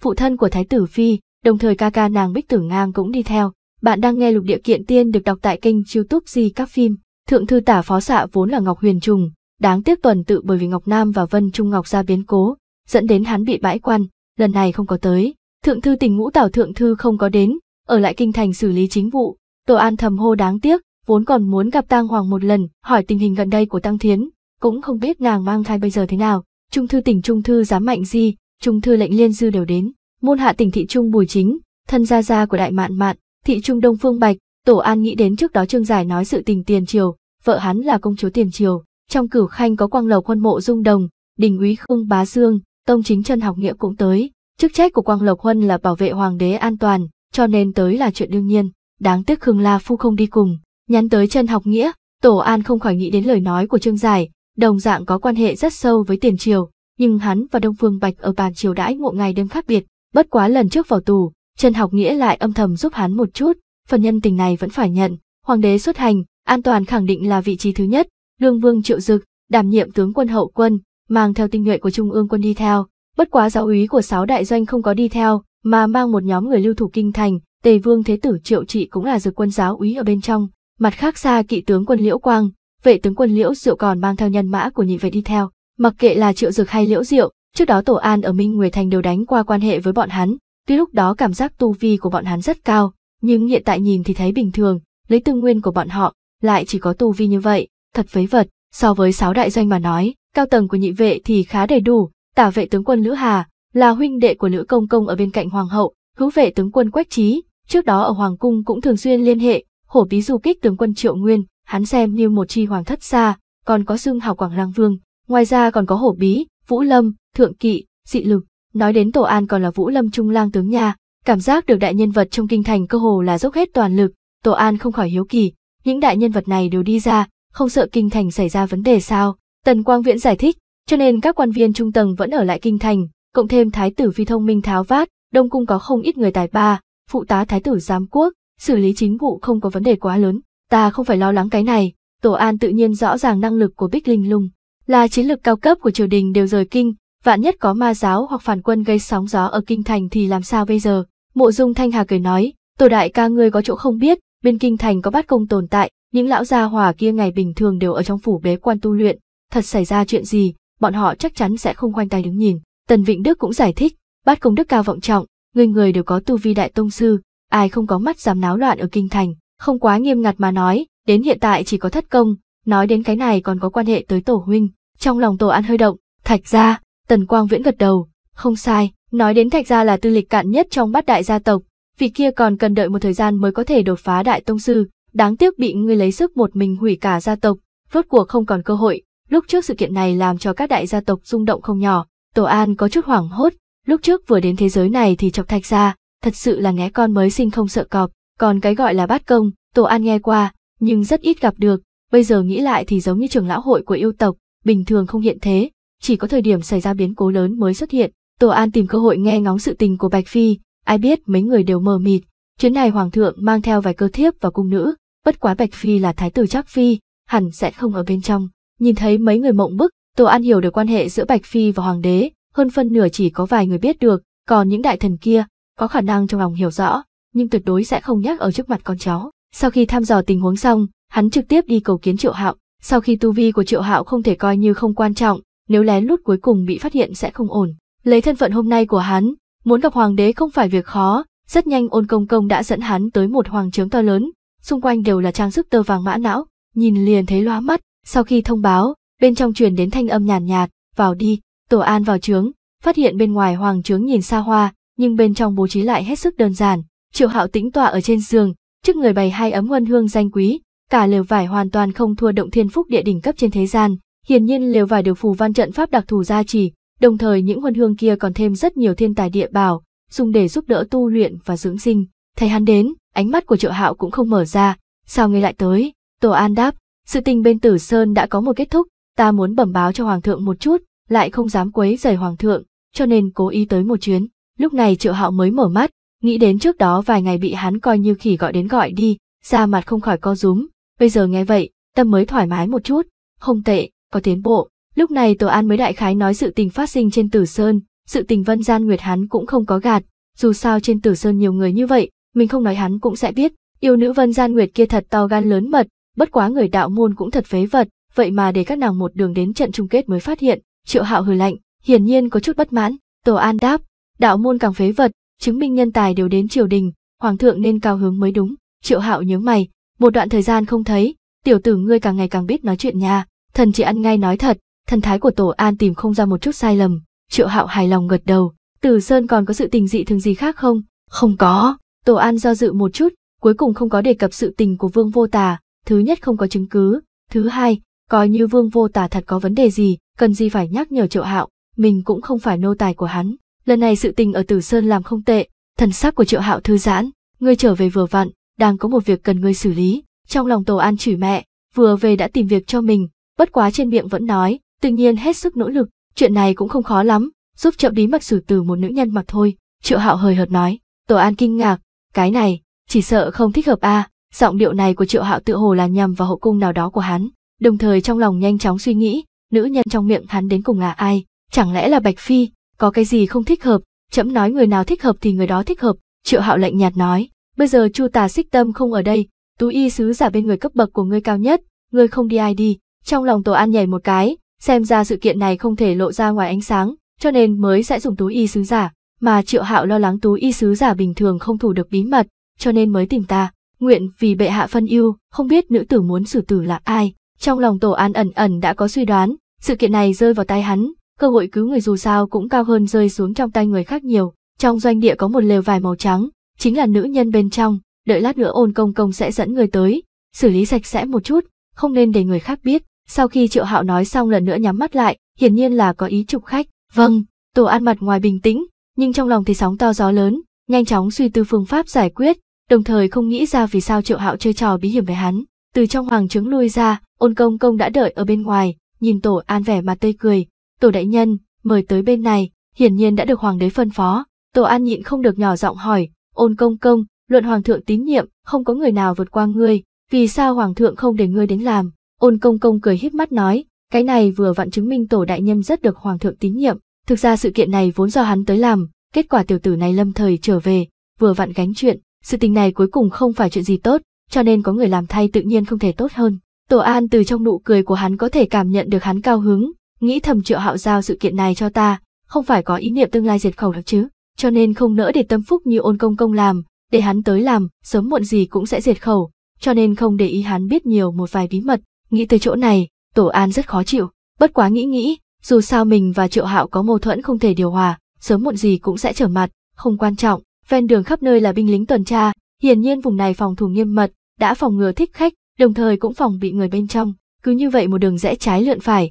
cuối cùng đi tới một lều vải màu trắng, cái lều vải này lẻ loi trơ trọi, cùng lều vải xung quanh ngăn cách tương đối dài, hiển nhiên là cố ý. Nơi xa vệ sĩ tuần tra phát giác được có người thì bản năng đi tới, bất quá nhìn thấy ôn công công liền hành lễ thối lui. Ôn công công nhìn Tổ An nói, người ở bên trong, còn có một ma ma trông coi, người đó chính là mục tiêu của ngươi. Tổ An hỏi dò, ôn công công, lần này người cần xử lý đến cùng là ai? Ôn công công giống như cười mà không phải cười, làm việc cho hoàng gia, không nên hỏi thì đừng hỏi, coi như quen biết cũng phải vờ không biết, đây mới là gốc rễ an thân lập mạnh. Tổ An thầm mắng một tiếng lão hồ ly, đa tạ ôn công công nhắc nhở. Sau khi nói xong, hắn đi vào lều vải, còn chưa tới cửa đã ngửi được hương hoa quen thuộc, hắn âm thầm thở dài một hơi, quả nhiên là bạch phi, loại mùi thơm đặc biệt này, là bất luận son phấn gì cũng không bắt trước được. Hắn âm thầm thi triển thần thức, phát hiện mặc dù ôn công công không có gần, nhưng một mực ở nơi xa lặng lẽ dò xét tình huống bên này, hiển nhiên hoàng đế không quá tín nhiệm mình, để hắn ở một bên giám sát, chẳng lẽ triệu hạo đang thử thăm dò ta. Tổ an mặt trầm như nước, đi tới cửa trống bồng, chợt nghe bên trong truyền tới thanh âm thô lỗ, ngươi kiêu ngạo cái gì, còn tưởng mình vẫn là quý nhân như lúc trước, đồng thời vang lên thanh âm yếu đuối ủy khuất của Bạch Phi, ta chỉ muốn uống nước mà thôi, hiện tại ta không động được, thật nhiều chuyện, thanh âm thô lỗ kia lẩm bẩm, ngay sau đó đùng một tiếng vang giòn, tựa hồ là người nào bị bạt tai, chịu đựng, dù sao cũng không có bao nhiêu thời gian để sống. Tiếng nước nở vang lên, còn có thanh âm châm chọc nói, ngươi bày tư thái hồ ly cho ai xem, có lẽ nam nhân sẽ ăn bộ này của ngươi, nhưng ở trong mắt ta chỉ cảm thấy kệch cớm, buồn nôn. Tổ An cao mày, trực tiếp vén rèm cửa đi vào, phát hiện trong phòng có một cái giường thô sơ, Bạch Phi đang có quắp nằm đó, trên gương mặt trắng nõn có một dấu bàn tay, khí chất của nàng vốn có chút yếu đuối, lúc này hốc mắt rưng rưng, lại cố nén không rớt xuống, càng lộ ra điểm đạm đáng yêu, mà bên giường, trên ghế đang ngồi một phụ nhân trắng kiện, lúc này nàng đang ăn như gió cuốn những điểm tâm xinh đẹp kia, những thức ăn này hiển nhiên là chuyên cung cấp cho hoàng thất, phi tần, dùng, nhìn tình huống hẳn là nàng chiếm lấy đồ vật của Bạch Phi, Tổ An nghĩ thầm Bạch Phi xuất thân ma giáo, làm sao lại bị khi dễ đến trình độ này, bất quá khí thế điều tra một chút, lập tức biết đáp án, nàng hẳn là bị người hạ cấm chế đặc thù, công lực toàn thân không còn, tình huống bây giờ chỉ sợ ngay cả nữ tử bình thường cũng không bằng, thấy hắn đến, trên mặt Bạch Phi vốn tuyệt vọng hiện ra vẻ mong đợi và ý mừng, dù sao mặc kệ từ phương diện nào, mình và Tổ An quan hệ cũng coi như không tệ, ngươi là ai? Mà mà nhíu mày nhìn hắn, lúc nói chuyện thức ăn trong miệng không tự chủ được phun ra ngoài, Tổ An nghiêng thân thể, không có để những mảnh vụn kia phun chúng, lạnh nhạt nói, Hoàng thượng phái ta đến xử quyết phạm nhân, nghe hắn nói, Bạch Phi vốn mừng rỡ nhất thời hóa thành kinh ngạc, có điều rất nhanh buồn bã cười một tiếng, không nói nữa. Mama câu mày nói, sao không phải ôn công công tới, ngươi cảm thấy ở trong doanh địa này, có người dám giả truyền thánh chỉ. Tổ An tức giận nói, nghĩ đến vừa rồi đối phương làm sự tình với Bạch Phi, hắn rất khó có cảm giác tốt, ôn công công ở bên ngoài trông coi, nếu ngươi không yên tâm, thì tự mình đi hỏi hắn, vậy cũng đúng, Mama lau tay lên người, xóa sạch tất cả vết tích bánh ngọt, ngươi sớm nên đến, hại ta ở chỗ này lãng phí nhiều thời gian như vậy, sau khi nói xong, nàng liền đi ra ngoài, hiển nhiên không có ý định nhìn một màn kế tiếp, nhưng vừa đi đến cửa, Tổ An vung thủ đao, trực tiếp đánh ngất đối phương. Bạch Phi vốn chết lặng nằm ở trên giường, thấy cảnh này nhất thời trừng to mắt, Tổ An đi tới bên người nàng, nhỏ giọng hỏi, đến cùng phát sinh chuyện gì, ngươi lấy rơi vào tình cảnh như vậy, Bạch Phi đáng chát cười một tiếng, việc này nói rất dài dòng, Tổ An rõ ràng bây giờ thời gian cấp bách, cũng không có cơ hội nghe nàng từ từ nói, những thứ này chờ ta người cứu ra lại nói. Sau khi nói xong, hắn vịn Bạch Phi ngồi dậy, trên người nàng tản ra mùi thơm dễ chịu, đồng thời còn ẩn ẩn hỗn hợp mùi sữa, vốn định giải trừ cấm chế trên người nàng, có điều rất nhanh phát hiện mình không giải được. Đừng lãng phí thời gian, đây là hoàng thượng tự mình hạ cấm chế, trừ khi chính hắn, bằng không không ai giải được. Bạch Phi lắc đầu, ánh mắt mỹ lệ nhìn Tổ An, người có tâm cứu ta, ta đã rất cảm kích, bất quá việc này quan hệ trọng đại, người đừng liên lụy, nhanh giết ta giao nộp đi. Tổ An lắc đầu, ta làm sao có khả năng giết ngươi, bạn đang nghe lục địa kiện tiên được đọc tại kênh youtube gì các phim, được Vân Gian Nguyệt, Thu Hồng Lệ nhờ, lại thêm trước đó ở trong cung đối phương cũng giúp mình không ít, làm sao có khả năng xuống tay với nàng. Nhưng Bạch Phi lại không biết tầng quan hệ này, nghe vậy khẽ giật mình, cái cổ nổi lên màu đỏ ửng, thanh âm của nàng trở nên ôn nhu, ngữ khí càng thành khẩn, người không cứu được ta, ôn công công ở bên ngoài trông coi, hoàng thượng cũng ở trong đại doanh, một khi có bất kỳ dị động, hắn lật tay có thể trấn áp, nếu ngươi thật muốn giúp ta mà nói, thì giúp ta truyền cho người một tin tức, nàng có chút ngượng ngùng, lại có chút réo rắt thảm thiết, tâm ý của công tử ta rất rõ ràng, nếu có kiếp sau, thiếp thân kết cỏ ngậm vành báo đáp, tổ an, ngươi minh bạch cái quỷ gì, tổ an trầm giọng nói, chờ ngươi ra ngoài lại tự mình đi đưa tin, hiện tại trước tiên cởi y phục, bạch phi, trong nháy mắt đó nàng có một loại cảm giác nhìn lầm người, đối phương lại lợi dụng lúc người ta gặp khó khăn, ở trước khi nàng chết muốn khinh bạc nàng. Bất quá khi thấy đối phương bới ra y phục của mama, nàng rốt cuộc minh bạch mình hiểu lầm đối phương, trên khuôn mặt mỹ lệ xuất hiện vẻ lúng túng, không có tác dụng, thay y phục chỉ sợ ngay cả tiểu hài tử 3 tuổi cũng không gạt được, hai người vô luận tuổi tác, hình dạng, thậm chí hình thể đều không có chút tương tự, nếu có thể giả mạo thành công, trừ khi tất cả mọi người trên đời bị mù, người đừng quản, ta tự có biện pháp, Tổ An vừa cởi y phục của mama, nội tâm vừa rời sông lớp biển, đôi tay mình đời này cởi đều là y phục của người nào, sơ nhan, mạn mạn, yên la, tuyết ngân, vân tỷ tỷ, ai không phải nhân gian tuyệt sắc, kết quả hôm nay lại chịu ủy khuất như vậy, cởi y phục của ác bà mập mạp, may mắn y phục của mama này nhiều, không có đụng phải đồ vật gì không nên đụng, rất nhanh liền cởi áo khoác nàng xuống, quay đầu, phát hiện Bạch Phi ngồi ở cạnh giường trừng mắt nhìn bên này, y phục trên người còn hoàn hảo, Tổ An không khỏi nhướng mày, sao ngươi còn lãng phí thời gian, thần sắc của Bạch Phi ngượng ngùng, ta, toàn thân ta vô lực, không cởi được, lúc này Tổ An mới nhớ trên người nàng bị hạ cấm chế đặc thù, nghĩ thầm triệu hạo thật lợi hại, tùy tiện một đạo cấm chế liền để cao thủ biến thành tay chói gà không chặt, lúc này Bạch Phi do dự hỏi, thay quần áo thật có thể lừa gạt qua, tin tưởng ta, không có vấn đề, Tổ An gật đầu nói, Bạch Phi khẽ cắn môi, trên khuôn mặt trắng noãn không tì vết lóe lên vẻ dãy ruộng, bất quá vẫn nói, vậy ngươi giúp ta cởi đi, Tổ An, này đến cùng là chuyện gì, vốn muốn làm quân tử, kết quả luôn đụng phải chuyện như vậy, có điều hắn cũng rõ ràng thời gian cấp bách, nên không có cự tuyệt, đắc tội, Bạch Phi mím môi, quay mặt qua bên cạnh, nàng cũng phân rõ nặng nhẹ, không có đưa ra yêu cầu nhắm mắt máu chó gì, bất quá khi tay đối phương chạm lên người nàng, toàn thân nàng không khỏi run lên, da thịt đỏ hồng, thần sắc tổ an cổ quái, nữ nhân này rõ ràng là thiếu phụ đã sinh hài tử, kết quả lại ngượng ngùng giống như hoàng hoa quê nữa vậy, đừng quá lo lắng, ta chỉ cởi áo khoác, bên trong còn mặc quần áo, Bạch Phi ân một tiếng, cũng cảm thấy mình quá mức khẩn trương, bất quá khi tay đối phương sát lên thân thể, toàn thân nàng như có cảm giác bị dòng điện chạy qua, một cảm giác mà trước giờ chưa từng thể nghiệm. Tuy Tô An hết sức tránh hiểm nghi, nhưng không thể tránh khỏi sẽ chạm đến thân thể nàng, trong lòng cảm thán thân thể nàng thật mềm, hơn nữa rất thơm, thí nghiệm so với mama béo thật là một trời một vực, vì phân tán mọi người xấu hổ, hắn thuận thế hỏi, vì sao mama này hung ác với người như thế, coi như người lại chán nản, nhưng dù sao cũng là phi tần nha. Bạch Phi giải thích, Bình mama cũng coi như lão nhân trong cung, không ít tiểu cung nữ hoặc tú nữ mới vào cung bị nàng khi dễ, năm đó nàng bởi vì chuyện nhỏ giàn vặt một tiểu cung nữ đến chết, sau khi ta biết tức giận trách phạt nàng một trận, đoán chừng bởi vì chuyện này mà ghi hận trong lòng. Tổ An gật đầu, bởi vì áp lực ở trong hoàng cung quá biến thái, những mama kia cơ hồ không có mấy cái bình thường, dù quá trình có chút kiểu diễm, nhưng cuối cùng vẫn thành công cởi váy ngoài của nàng xuống. Bạch Phi có chút thẹn thùng lại co quắp, ôm lấy đầu gối ngồi ở trên giường, giống như tiểu bạch hoa xấu hổ ở trong gió lạnh. Có điều nàng vẫn lấy dũng khí nói, coi như thay quần áo, cũng không gạt được người khác. Tổ An cười cười, yên tâm, ta có biện pháp, hắn không có trực tiếp thay đổi y phục của hai người, mà triệu hồi ra một cái tủ treo quần áo, ở trong ánh mắt ngạc nhiên của Bạch Phi, bỏ hai bộ y phục vào. Bạch Phi chú ý tới thời điểm hắn thả y phục của Bình bà bà vào, tựa hồ rất do dự, hơn nữa nghiến răng nghiến lợi,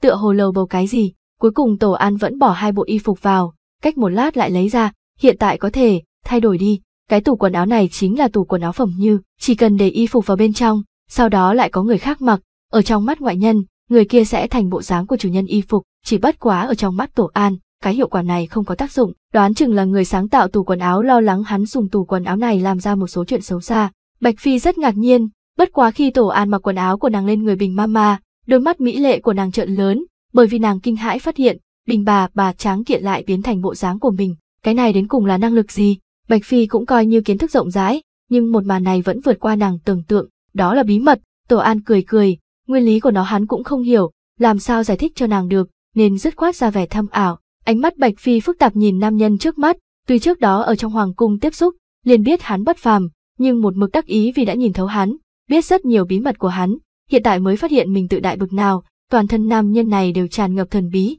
Lúc này Tô An đi tới, vừa mặc y phục cho nàng, vừa cau mày nói, trạng thái của người hiện tại, lát nữa chỉ sợ có chút phiền phức, hình tượng cao lớn thô kệch của Bình bà bà, ngày thường cực kỳ có sức sống, thoáng cái biến thành tư thái của Lâm Đại Ngọc, dù hình dạng tương tự, cũng sẽ có người hoài nghi. Nàng đỏ mặt nói, túi thơm trong ngực ta có một viên thuốc, có thể ngắn ngủi kích thích tinh lực người, tuy không thể xông mở cấm chế của hoàng đế, nhưng để ta tạm thời giống như người bình thường, thì vấn đề không lớn. Tổ An cao mày hỏi, có tác dụng phụ lớn gì không? Ma giáo từ trước đến nay thích làm sự tình thiêu đốt tinh huyết nha. Bạch Phi khẽ lắc đầu, có chút di chứng, bất quá tu dưỡng một đoạn thời gian sẽ khôi phục, bây giờ cũng không lo được nhiều như vậy. Tổ An nghĩ cũng phải, tính mệnh nguy hiểm hắn chỉ có thể tạm thời lùi ra sau, sau đó ở dưới đối phương chỉ dẫn, luồn tay vào trong ngực nàng, da thịt ôn hương nhuyễn ngọc, co giãn mềm mại, hai người đều khẽ giật mình, hô hấp của Bạch Phi thoáng cái dồn dập lên, cắn môi, còn, còn phải vào bên trong một chút. Tổ An tập trung ý chí, rốt cục lấy được thuốc ra, đút nàng ăn xong, trên mặt nàng hiện lên một tầng huyết sắc,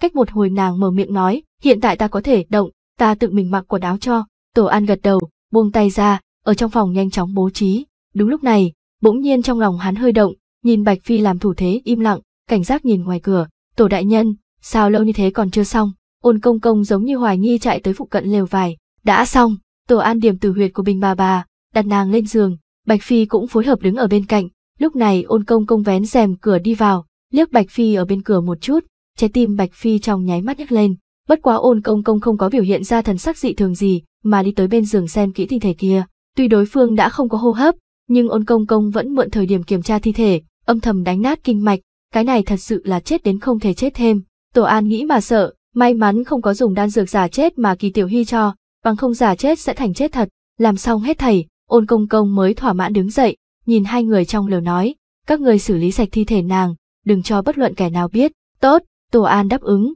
bỗng nhiên thần sắc sững sờ, bởi vì bên tai còn vang lên ôn công công nguyên khí truyền âm. Xong việc giết bình bà bà, sau khi nói xong, ôn công công vỗ vỗ vai hắn, cho hắn một ánh mắt đây là ý tứ của hoàng đế, liền khoan thai rời đi. Tổ An âm thầm cảm thán, hoàng thất thật hắc, sự tình diệt khẩu làm không lưu tình chút nào. Nói đến nếu không phải bây giờ mình còn có chút địa vị và bản lĩnh, hơn phân nửa cũng bị thuận tay diệt khẩu. Bất quá dựa theo triệu hạo an bài mà nói, mình làm sự tình như thế này, sớm muộn gì cũng sẽ diệt khẩu mình. Xác định ôn công công rời đi, Bạch Phi nhịn không được thở phào một hơi, cả người xém chút sụi lơ xuống. Vừa rồi mặc dù thời gian ngắn, nhưng trái tim nàng sắp nhảy ra cổ họng, vốn cho rằng cục diện hẳn phải chết, lại có cơ hội sống trong lòng người nào không có gợn sóng. Thế nhưng biện pháp cứu người của Tổ An lại quá không thể tưởng tượng, nàng lo lắng không thể giấu giếm được ôn công công khôn khéo. May mắn hết thể thuận lợi, loại cảm giác đi trên dây kia, để cho nàng như được trọng sinh. Nàng nhìn về phía Tổ An, ánh mắt tràn ngập bội phục, thậm chí là sùng bái. Tiếp xuống làm sao bây giờ, năng lực này của ta không thể duy trì quá lâu.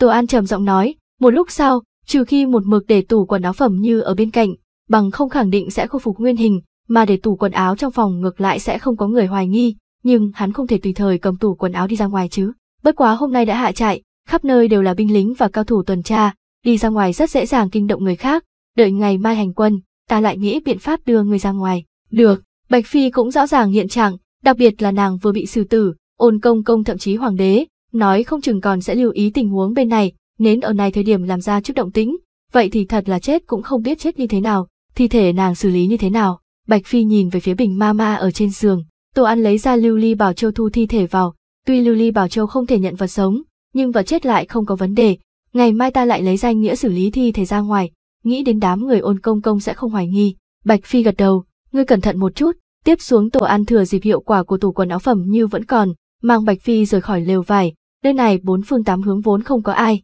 ngẫu nhiên có người nhìn đến cũng chỉ cho là bình ma ma, không ai để ý, bất quá đến tối thì có chút xấu hổ, ôn công công tìm người an bài cho tổ an một lều vải, Bạch Phi không có địa phương đi, tự nhiên chỉ có thể trốn ở chỗ này, bên ngoài hành quân, hết thảy giàn lược, trong lều vải chỉ có một cái giường, cực kỳ nhỏ hẹp, Bạch Phi nhìn thấy, biểu lộ có chút khó khăn, lúc này tổ an nói, ngươi ngủ trên giường, ta ở bên cạnh tĩnh tọa là được, bởi vì chuyện quan trọng, hắn không dám đi ra ngoài để Bạch Phi rời tầm mắt, miễn cho xảy ra chuyện gì ngoài ý muốn không có thời gian phản ứng. Bạch Phi lắc đầu, người đã có ân cứu mạng, ta làm sao có thể để ngươi chịu ủy khuất, ngươi ngủ trên giường, ta ở bên cạnh tĩnh tọa là được. Tổ An cười cười, bây giờ thân thể ngươi suy yếu như vậy thì không nên khách khí, ta ra dày thịt béo, sự tình như vậy sớm thành thói quen. Bạch Phi đỏ mặt, ngươi thường xuyên để nữ tử ngủ giường, ngươi ở bên cạnh sao? Tổ An, ta nói là ta quen tĩnh tọa, Tổ An tức đến sạm mặt lại, dù sao thời gian một đêm lại không dài, đối với người tu hành rất bình thường. Bạch Phi rõ ràng tình huống của mình, lúc này mới không chối từ, đơn giản rửa mặt, sau đó co ở trong chăn, bất quá bây giờ nàng làm sao dễ dàng ngủ được, đôi mắt nhấp nháy, lặng lẽ sốc chăn lên đánh giá nam tử cách đó không xa, vừa rồi tựa hồ đối phương vì tránh hiểm nghi, thời điểm nàng rửa mặt thì cố ý nhắm mắt, cả người dường như ngủ, thật rất có phong thái quân tử, ai nha, trước đó còn nói hắn đồng ý giúp đỡ báo tin, đời sau mình kết cỏ ngậm vành báo đáp, bây giờ người ta đã cứu mạng, công lao còn lớn hơn nhắn tin rất nhiều, cái này nên báo đáp như thế nào, trên mặt ta có chữ viết sao, Tổ An đang tĩnh tọa bỗng nhiên mở miệng, hiển nhiên cũng phát giác được nàng nhìn chăm chăm vào mình. Bạch Phi có chút ngượng ngùng nói, ta ngủ không được, trải qua sự tình như vậy, ngủ không được cũng rất bình thường. Tổ An gật đầu, đúng rồi, trước đó còn chưa kịp hỏi ngươi, vì sao hoàng đế lại muốn giết ngươi? Bạch Phi do dự một chút, cuối cùng nói, thực ta ta tới từ ma giáo. Tổ An gật đầu, ta biết, đối phương nguyện ý nói, xem ra cũng không tính cứu lầm người. Bạch Phi kinh ngạc, ngươi biết, Tổ An ân một tiếng, lần này ta tới, là đám người vân gian nguyệt ủy thác ta tới cứu ngươi. Sắc mặt Bạch Phi nhất thời có chút đặc sắc, ngươi có thể không nói những chuyện này, ta sẽ càng cảm kích ngươi. Tổ An cười nói, chẳng lẽ hiện tại ngươi không cảm kích ta? Đương nhiên cảm kích, không biết nên báo đáp ngươi như thế nào. Bạch Phi hơi xúc động, Tổ An bản năng nói, gia hương của ta lưu truyền một chuyện cười, nói nữ tử được nam tử cứu, nếu nam tử xấu xí, sẽ nói tiếp thân đời sau làm trâu làm ngựa báo đáp ân tình, nếu nam tử dáng dấp đẹp trai hợp ý, sẽ nói đại ân đại đức không thể báo đáp, tiểu nữ tử nguyện lấy thân báo đáp. Sau khi nói xong, hắn lập tức ý thức được không ổn, vội vàng nói, ta chỉ nhớ tới sự tình trước kia, không phải ám chỉ cái gì, gương mặt Bạch Phi đỏ hồng, cũng không biết có tin hắn hay không, không nghĩ tới ngươi và sư tỷ đã quen thuộc như vậy, loại sự tình này cũng dám tìm người giúp đỡ. Thật lâu sau nàng mới mở miệng nói, lúc trước nếu không phải nàng tiềm ẩn ở trong cung, đám người Vân Gian Nguyệt làm sao có thể dễ dàng tiến cung hành thích, về sau Vân Gian Nguyệt có thể dễ dàng xuất cung như vậy, là nhờ nàng ở trong bóng tối giúp đỡ. Nàng một mực biết quan hệ của Vân Gian Nguyệt và Tổ An, cho nên những năm gần đây chỉ cần trong phạm vi khả năng đều sẽ trợ giúp Tổ An, cho rằng mình mới là hậu trường nhìn thấu hết thầy, hiện tại phát hiện quan hệ của hai người còn tốt hơn mình nghĩ, trong nháy mắt đang cảm thấy mình như thằng hề. Tổ An không nguyện ý trò chuyện sự tình với Vân Gian Nguyệt nhiều, lo lắng nàng nhìn ra vấn đề. Bạn đang nghe lục địa kiện tiên được đọc tại kênh youtube gì các phim, coi như bại lộ thân phận cũng không đến mức muốn giết người, dù sao ngươi là khụ khụ mẹ đẻ của Hoàng Thái Tôn nha. Thần sắc của Bạch Phi cũng trở nên ngưng trọng, thực ra ta một mực có loại cảm giác, Hoàng thượng sớm đã biết thân phận của ta, nhưng trước sau bỏ mặc, cho nên sự tình lần này ta cũng rất bất ngờ. Cách một hồi nàng chậm rãi nói, lấy mấy năm nay ta lý giải hoàng đế, tựa hồ hắn có dự cảm không rõ gì, hết thể phảng phất như, an bài hậu sự, an bài hậu sự, tổ an kinh ngạc, triệu hạo là ai, đại lục đệ nhất cường giả, coi như bên tử sơn thật có âm mưu gì, hắn làm sao có thể ủ rũ đến mức cần sớm an bài hậu sự, ta cũng cảm thấy khó tin, Bạch Phi nói, có lẽ là hắn có dự cảm gì, hoặc thiên nhân ngũ suy của hắn sớm đến, tóm lại hắn muốn sớm bài trừ hết thảy nhân tố không ổn định, mà vạn nhất hắn thật xảy ra chuyện gì ngoài ý muốn, ta là mẹ đẻ của Hoàng Thái Tôn, sẽ càng dễ dàng sinh ra mưu đồ lớn, lại thêm bối cảnh ma giáo, vạn nhất đối nghịch với Thái Tử Phi, là có cơ hội khống chế triều đình, hắn hẳn không dám mạo hiểm như vậy. Tổ An nghĩ thầm khó trách Bích Linh Lung một mực không thích Bạch Phi, nguyên lai là chính trị gia nhạy bén, để nàng rõ ràng Bạch Phi có năng lực uy hiếp địa vị của mình, dù sao nàng và Thái tử chỉ có danh phu thê, không có phu thê chi thực, càng không nói đến sinh con, có điều nàng nói suy đoán này lại rất có ý tứ, chẳng lẽ Triệu Hạo thật cảm nhận được tử vong gần. Hai người lại trò chuyện một hồi sự tình khác, Bạch Phi dần dần buồn ngủ, nàng dù sao cũng bị hạ cấm chế, trong khoảng thời gian này lại lo lắng hãi hùng, về sau ăn đan dược kích phát tiềm lực, bây giờ thân thể có chút mệt mỏi, bất chi bất giác liền tiếp đi, tổ ăn thần sắc tự nhiên, tiếp tục tĩnh tọa tu luyện, một đêm không phát sinh sự kiện kiều diễm máu chó gì, Bạch Phi không có mời hắn lên giường ngủ chung, từ đầu đến cuối nàng ngủ rất say, hơn nữa tướng ngủ rất tốt, toàn bộ quá trình cực kỳ an tĩnh, cũng không có đá chăn lộ ra bắp đùi, tâm tình của Tổ An như mặt hồ, bây giờ hắn đã không giống như năm đó, sẽ chờ mong một số sự tình mập mờ gì. Sáng sớm ngày thứ hai, Bạch Phi tỉnh dậy, đầu tiên là giật mình, bất quá nhìn thấy Tổ An như tảng đá tĩnh tọa, trên mặt nàng lộ ra nụ cười tĩnh mịch, rất lâu không có ngủ an giấc như thế. Chính nàng cũng kinh ngạc, mình xuất thần ma giáo, hơn nữa ở trong hoàng cung sinh hoạt nhiều năm, lại sẽ tin tưởng một nam nhân như thế. Ngươi tỉnh rồi, Tổ An cảm giác được động tĩnh của nàng, mở to mắt, ừm, Bạch Phi có chút xấu hổ, dù sao loại đối thoại này cảm giác có chút giống như phu thê, ở thế giới này lại, có mấy nữ tử sẽ bày một mặt tư mật như thế ở trước mặt nam nhân, vậy thu thập một chút, chuẩn bị lên đường, không có gì bất ngờ xảy ra mà nói ôn công công sẽ bắt chuyện với vệ sĩ ở phụ cận. Tổ An đứng dậy nói, ban ngày không giống buổi tối, buổi tối những binh lính kia tuần tra, trong đầu như dây cung căng thẳng, muốn sớm bài trừ các loại tai họa ngầm, bất luận sự tình khả nghi gì cũng dễ dàng bị phóng đại, ban ngày mọi người thức dậy, những người kia sẽ không còn căng thẳng như thế. Chúng ta ra ngoài như vậy, Bạch Phi đứng dậy đang muốn mặc áo khoác, lại bị Tổ An ngăn cản, vẫn mặc y phục của Bình Mama, để phòng ngừa vạn nhất, hôm nay ngươi giả thành thi thể của nàng, vạn nhất thực có người muốn mở dương kiểm tra, cũng có thể ứng phó qua. Được, Bạch Phi bản năng có chút ghét bỏ quần áo của Bình Mama, vừa bẩn vừa rộng, thậm chí còn có mùi lạ, có điều nàng biết phân rõ nặng nhẹ, nên không có cực tuyệt. Tổ An lấy ra một cái dương nhỏ, có chút do dự nói, đợi lát nữa phải ủy khuất ngươi nằm trong này, không biết ngươi nằm vào không, nếu không được, ta đi tìm cái khác lớn hơn. Tuy bình thường hắn để ở trong lưu ly bảo châu không ít vật dụng, nhưng ai không có việc gì chuẩn bị một cái dương đựng thi thể. Bạch Phi kinh ngạc nhìn chằm chằm cái dương, cái dương nhỏ như vậy, chứa nổi bình mama sao, người ta sẽ không hoài nghi. Chính bởi vì nhỏ mới không khiến người ta hoài nghi bên trong chứa người, còn bình mama thân thể trắng kiện, nhưng ở trong mắt người biết chuyện như ôn công công, ngược lại là thi thể, vẻ gãy sẽ miễn cưỡng chứa nổi. Vậy thi thể ta đâu? Bọn họ không hoài nghi sao? Bạch Phi có chút lo lắng thay hắn, đến thời điểm mình rời đi ngược lại không quan trọng, nhưng Tổ An rất có thể bởi vậy bị liên lụy. Tổ An dương dương một cái bình nhỏ trong tay, hôm qua ôn công công cho ta, cùng loại với hóa thi phấn. Ngươi dù sao cũng là phi tần trong cung, cho dù chết cũng không cho phép nam nhân tùy tiện động, cho nên dùng cái này diệt tích. Loại thuốc này rất chân quý, phân lượng chỉ đủ dung một người. Còn vì sao ôn công công không tự mình nhìn hắn hủy thi thể của Bạch Phi, nghĩ đến là không muốn liên lụy quá sâu, miễn cho tương lai bị hoàng đế diệt khẩu. Hắn ở trong hoàng cung nhiều năm như vậy, sớm là lão hồ ly đã tu luyện thành tinh. Bạch Phi có chút bội phục, vốn là cục diện mà ta cũng cảm thấy tuyệt vọng, lại bị ngươi trải vuốt, tựa hồ giải quyết thuận lý thành trương, thật sự là khó tin. Đừng ở chỗ này thổi phồng, ngươi đến cùng có thể vào hay không? Tổ An lo lắng, hẳn không có vấn đề. Bạch Phi hơi đỏ mặt, sau đó ở trong ánh mắt khiếp sợ của Tổ An, ngồi ở trong giường, sau đó thân thể run rẩy, chân vòng qua sau đầu, hai tay ôm lấy toàn bộ thân thể, vặn vẹo cực kỳ khoa trương, sau cùng co lại thành một viên cầu, nhìn nữ tử trước mắt hóa thành bâu linh, Tổ An thất thần, cái này mới gọi là khó tin. Bạch Phi có chút ngượng ngùng, thân thể ta tính dẻo dai tương đối tốt, lại ở trong thánh giáo học qua một số thể thuật, cho nên mới có thể làm được. Tổ An nghĩ thầm tính dẻo dai của ngươi đâu chỉ tương đối tốt, quả thực là nghịch thiên. Những công pháp kia của ma giáo cũng không biết là ai sáng tạo,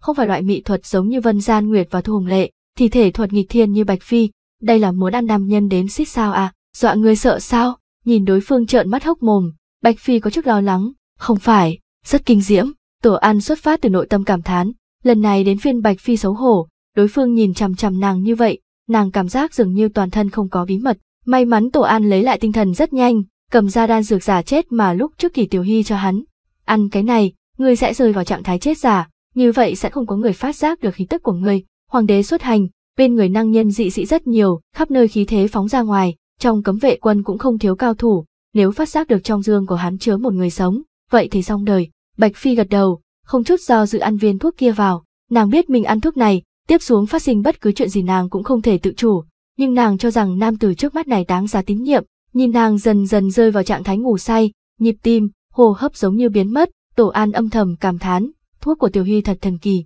Nghĩ đến tiểu cô nương thiện lương thuần khiết kia, Tổ An kìm lòng không được xoa bờ môi, lúc trước đối phương đưa thuốc, xúc cảm mềm mại kia ký ức vẫn còn mới mẻ, mình là thiếu nàng một nhân tình rất lớn, chỉ bất quá thế giới to lớn, không biết lúc nào mới gặp lại. Thu thập xong tâm tình, hắn đóng kỹ cái dương, sau đó mang theo nàng ra ngoài, không thể không nói nữ nhân này thân thể thật nhẹ, nhấc lên như không có trọng lượng, bây giờ doanh trại đang thu thập, chuẩn bị xuất phát, khắp nơi có tiếng hò hét ầm ĩ. Tổ An một đường đi ra ngoài rất thuận lợi, không biết có phải ôn công công sớm bắt chuyện qua hay không, các cấm vệ quân không có ai cản hắn. Bất quá khi đến tầng ngoài cùng doanh địa, vừa vặn gặp phải một đội nhân mã tuần tra, dẫn đầu là người mặc khôi giáp kim sắc, ánh mắt sắc bén thâm trầm, rất có phong phạm cao thủ. Tổ An âm thầm hô hỏng bét, bởi vì người này là Quảng Lăng Vương Triệu Nguyên, hắn chấp trưởng bộ phận tinh nhuệ nhất trong cấm quân, địa vị còn cao hơn Vũ Lâm Lang của mình rất nhiều. Mấu chốt là xưa nay hắn và Tề Vương giao hảo, mình cùng Tề Vương nhất mạch sớm đã thế như nước lửa. Quả nhiên, Triệu Nguyên nhìn thấy hắn, không khỏi cau mày, đứng lại, đang làm gì? Triệu tướng quân có gì chỉ giáo? Tổ An không có gọi tước vị của đối phương, miễn cho thua khí thế, dù sao quan chức của song phương tương đương, lại thêm chức vị ở Đông Cung, nói không chừng mình còn cao hơn một bậc. Nguyên lai là tổ đại nhân, Triệu Nguyên giả bộ như mới vừa nhận ra hắn, không biết tổ đại nhân vội vàng như vậy, là dự định đi làm chuyện gì, có việc cần ra ngoài một chuyến. Tổ An có chút hối hận, sớm biết thì đổi trang phục của kim bài tú y, như thế thì không ai dám vặn hỏi. Hai, thất sách, bây giờ đại quân sắp xuất phát, sự tình của tổ đại nhân còn trọng yếu hơn hành trình của hoàng thượng sao? Triệu Nguyên ra vẻ kinh ngạc nói, sau đó ánh mắt rơi vào cái dương trong tay hắn, không biết trong dương của tổ đại nhân được cái gì, cái dương này thực quá rõ ràng, muốn không chú ý cũng không được, không nên cầm hoàng thượng ra dọa ta, chuyến này của ta chính là làm việc cho hoàng thượng, bên trong chứa đồ vật nhiệm vụ. Tổ An có chút bất mãn, thế nào, triệu tướng quân muốn kiểm tra một chút không? Nếu tổ đại nhân không ngại mà nói, xin mời mở ra để cho chúng ta kiểm tra. Triệu Nguyên áy náy nói, tổ đại nhân chớ trách, đây là quy củ, người và vật ra vào đều phải kiểm tra,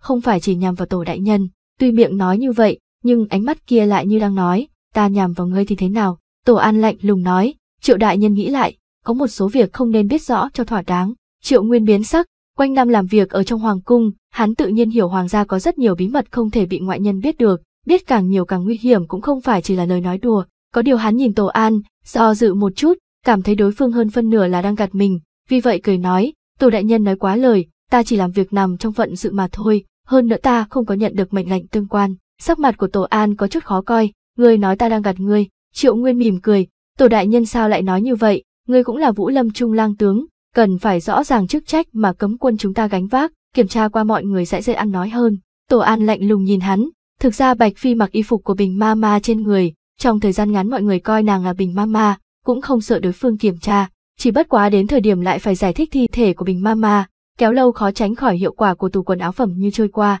hơn nữa đối phương nói rõ là làm khó hắn, bên cạnh còn có nhiều binh lính như thế, nếu chịu thua mà nói, sau này ở trong Vũ Lâm quân sẽ không ngẩng đầu lên được, sau này hắn ở trong cùng cũng rất khó triển khai công tác, nếu ta không cho xem thì sao? Tổ An sụ mặt, trực tiếp cự tuyệt, thần sắc của Triệu Nguyên lạnh lẽo, vậy đừng trách ta đắc tội. Theo câu nói này của hắn vang lên, binh lính bên người ào ào rút đao ra bao bọc vây quanh Tổ An, bầu không khí hết sức căng thẳng. Những ngày này Tổ An gió to sóng lớn gì chưa thấy qua, tự nhiên không để những người này vào mắt, đang định tiến lên, chờ mang Bạch Phi ra ngoài thì xem như tiêu diệt chứng cứ, đến thời điểm tùy tiện giải thích với hoàng đế liền không có vấn đề gì. Đúng lúc này, cách đó không xa truyền đến tiếng ho nhẹ, mọi người đang làm gì? Nguyên lai là ôn công công, Triệu Nguyên nhìn thấy đối phương, thần sắc cũng tôn kính mấy phần, vừa rồi mặt tướng ở nơi này thông lệ kiểm tra, kết quả tổ đại nhân không phối hợp, làm huynh đệ dưới tay sinh ra hoài nghi, hắn thêm mắm thêm muối miêu tả sự tình vừa rồi một lần, mặc cho ai nghe cũng cảm giác tổ an có vấn đề, ôn công công nhìn tổ an, ánh mắt rơi vào cái dương trong tay hắn, tổ an nhạy bén cảm giác được có khí thế bao trùm ở trên cái dương,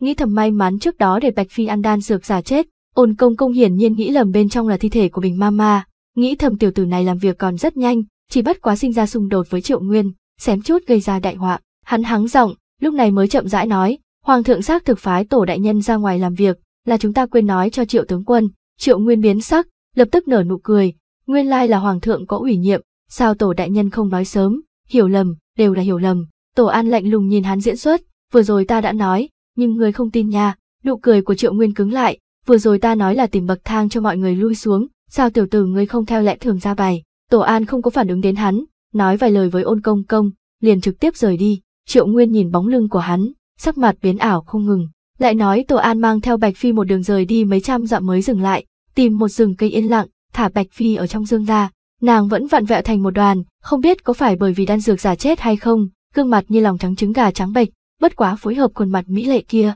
càng có vẻ điềm đạm đáng yêu. Bỗng nhiên Tổ An sửng sốt, bởi vì lúc trước Kỳ Tiểu Hy cho hắn đan dược giả chết, lại không có nói hắn cách dùng, thậm chí hắn không biết ăn thuốc này phải qua bao lâu mới có thể tỉnh lại, nếu cần vài ngày, mình nào có nhiều thời gian thủ ở chỗ này như vậy, chẳng qua hiện nay tu vi của hắn cao, kiến thức cũng nước lên thì thuyền lên, biết nguyên lý đại khái của loại đan dược giả chết này, vì vậy vận công trợ giúp thôi cùng hoạt huyết, kích thích nàng sớm tỉnh lại, vốn lo lắng nàng co do như vậy khó chịu, muốn để thân thể nàng nằm ngang, thế nhưng nỗ lực tách ra mấy lần, phát hiện tay chân nàng chặt chẽ quấn quanh, khí lực nhỏ không nhúc nhích tí nào, khí lực lớn lại sợ làm hỏng, vì vậy không còn dám đường đột, tính toán đợi nàng tỉnh dậy lại nói. Cách một hồi, ở dưới nguyên khí hùng hồn của hắn quán chú, da thịt của Bạch Phi dần dần có chút huyết sắc, sau đó nhịp tim dừng lại cũng dần dần đập, lại qua một hồi, đã nghe được tiếng hô hấp nhẹ nhàng, lông mi khẽ run, ưm một tiếng, Bạch Phi thăm thẳm tỉnh lại, Tổ An buông lòng một hơi, ngươi tỉnh rồi, tựa hồ Bạch Phi là vì già chết, đầu óc còn có chút mơ hồ, kinh ngạc nhìn chằm chằm nam tử trước mắt, không biết đang suy nghĩ gì, trong lúc nhất thời lại si mê, Tổ An giật mình, vội vàng phất tay thăm dò, sợ đan này làm nàng biến thành người thực vật. Bạch Phi rốt cục lấy lại tinh thần, có chút ngượng ngùng nói, ta không sao, chỉ là vừa tỉnh lại có chút mơ hồ mà thôi. Nàng muốn đứng dậy, kết quả phát hiện mình vẫn lấy tư thế yoga đặc thù quấn quanh, có chút ngượng ngùng nói, có thể giúp ta một chút không, hiện tại ta không giải được, nếu như ở trạng thái bình thường, nàng tự nhiên không có vấn đề, nhưng trên người có cấm chế của hoàng đế, lại thêm ăn đan dược giả chết lâu như vậy, thân thể xác thực cứng ngắc đi rất nhiều, nhìn nàng có chút chật vật, Tổ An buồn cười, ở dưới nàng chỉ điểm từng chút giải khai, toàn bộ quá trình hắn không thể không thán phục thân thể nàng mềm mại, suy nghĩ làm sao tìm cơ hội để nàng dạy chiêu này cho mấy hồng nhan chi kỳ. Bên Vân Gian Nguyệt và Thu Hồng Lệ vấn đề không lớn, đều xuất thân ma giáo, chỉ bất quá lấy tính tình của Vân Gian Nguyệt, chưa chắc sẽ nguyện ý học lại tư thế này. Yến Tuyết Ngân càng khó, sau khi khôi phục, Bạch Phi đứng lên, sửa sang quần áo một chút, sau đó nhìn hắn thi lễ, ân cứu mạng của công tử, thiếp thân, nói đến một nửa, liền nghĩ đến trước đó đối phương kể cho mình chuyện cười, trong lúc nhất thời không biết nên nói cái gì mới phù hợp. Tô An cũng nghĩ đến chuyện này, lung túng nói, bằng vào quan hệ của chúng ta, nói những thứ này đều khách khí, ta tin tưởng đổi chỗ mà xử, người cũng sẽ cứu ta. Bạn đang nghe lục địa kiện tiên được đọc tại kênh youtube gì Các Phim, cảm nhận được hắn cố ý an ủi mình, trong lòng Bạch Phi ấm áp, đồng thời tâm tinh nghịch dâng lên. Vậy cũng không nhất định, tuy trước kia chúng ta tính là bằng hữu, nhưng không nhất định sẽ bốc lên phong hiểm lớn như thầy cứu ngươi. Nhìn thấy sắc mặt Tổ An cứng đờ, nàng cười khúc khích, bất quá sau lần này, đừng nói cứu công tử, công tử muốn ta làm gì, chỉ cần một câu, ta đều nguyện ý. Thần sắc Tổ An cổ quái, nghĩ thầm nàng là đang cố ý ám chỉ cái gì hay vô ý. Nữ nhân xuất thân ma giáo tựa hồ rất am hiểu chơi loại ngôn ngữ trêu chọc này, hắn rất nhanh thu hồi tâm tư hỏi, tiếp xuống người có tính toán gì không? Về ma giáo sao? Bạch Phi lắc đầu, thần sắc có chút tịch mịch nói, chỗ kia cũng chỉ coi ta như công cụ mà thôi, về làm cái gì? Nói đến một nửa liền ý thức được không ổn, nói tiếp, ta dự định về kinh thành một chuyến, ta muốn xem hải tử. Tổ An cao mày nói, thân phận các ngươi bây giờ trở về kinh thành quá nguy hiểm, hơn nữa trên người ngươi còn có cấm chế. Bạch Phi hé miệng cười nói, công tử yên tâm, ta tự nhiên có chừng mực, sẽ không bại lộ thân phận liên lụy công tử. Còn cấm chế kia, cách một đoạn thời gian tự nhiên sẽ chậm rãi giải khai, ta dù sao xuất thân ma giáo, lại thêm trước đó ăn đan dược kia, ta trong thời gian ngắn cũng có sức tự vệ, thấy nàng đã quyết định đi, Tổ An không tiện khuyên, nghĩ thầm đã làm mẫu thân, lo lắng hải tử tựa hồ thắng qua hết thảy nguy hiểm. Sau khi đưa cho nàng một số đồ vật phòng thân, Tổ An trở lại đội ngũ của hoàng đế, dù sao một đi không trở lại mà nói, rất dễ dàng gây nên hoài nghi, hắn dự định báo cáo một tiếng sẽ về Tử Sơn, ở cùng Yến tỷ tỷ, Vân tỷ tỷ tốt hơn ở bên cạnh hoàng đế kia rất nhiều. Kết quả vừa đến bên cạnh xe ngựa của hoàng đế, lại phát hiện những đại nhân vật của triều đình đều ở đây, nhìn thấy hắn đến, từng người thần sắc rất phức tạp, Tổ An thầm nghĩ những người này làm gì, ánh mắt lạ như thế, theo thường lệ hành lễ với hoàng đế, đang định nói gì, ai ngờ Triệu Hạo cười lạnh nói,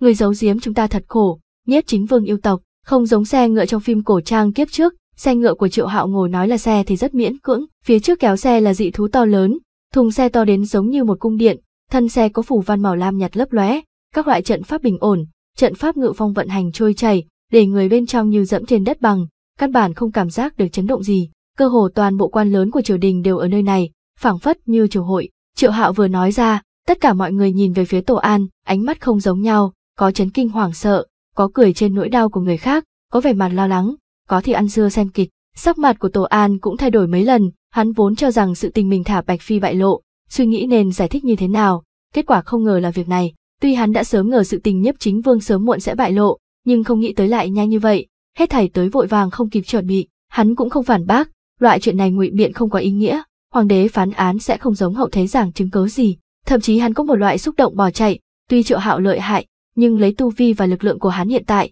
chưa hẳn không có khả năng đào thoát. Đúng lúc này, bên tai vang lên một thanh âm quen thuộc, không cần bối rối, tuy thân phận nhiếp chính vương là mầm tai vạ, nhưng tương tự cũng là bùa hộ thân của ngươi. Tổ An sững sờ, sau đó cuồng hỉ, hoàng hậu tỷ tỷ, ngươi tỉnh rồi. Từ khi Mỹ Ly ngủ say một lần, đằng sau thỉnh thoảng sẽ rơi vào trạng thái ngủ say, làm cho Tổ An sắp quen thời gian không có nàng. Gọi sư phụ, Mỹ Ly tức giận cải chính, sư phụ tỷ tỷ. Tổ An cam tâm tình nguyện hô một tiếng, không biết vì sao, đối phương vừa xuất hiện, tâm tình của hắn liền ổn định, cảm giác mình thật đúng là trời sinh ăn cơm chùa. Đừng nói nhiều, trước ứng phó nguy cơ trước mắt lại trò chuyện tiếp. Mỹ Ly nhắc nhở, Tổ An âm thầm gật đầu, lúc này trong lòng hắn đã có quyết định, nhìn Triệu Hạo thi lễ, chuyện này nói rất dài dòng, trước đó có nhiều cố kỵ, cho nên không có báo cáo hoàng thượng, mong hoàng thượng thứ tội. Triệu Hạo sững sờ, vốn cho rằng đối phương sẽ ngụy biện, sau đó hắn ở dưới đối phương biểu diễn vụng về, triệt để vạch trần để tâm phục khẩu phục, không nghĩ tới đối phương không kiêu ngạo không tự tin thừa nhận. Vẻ mặt của các đại lão trong triều cũng rất đặc sắc,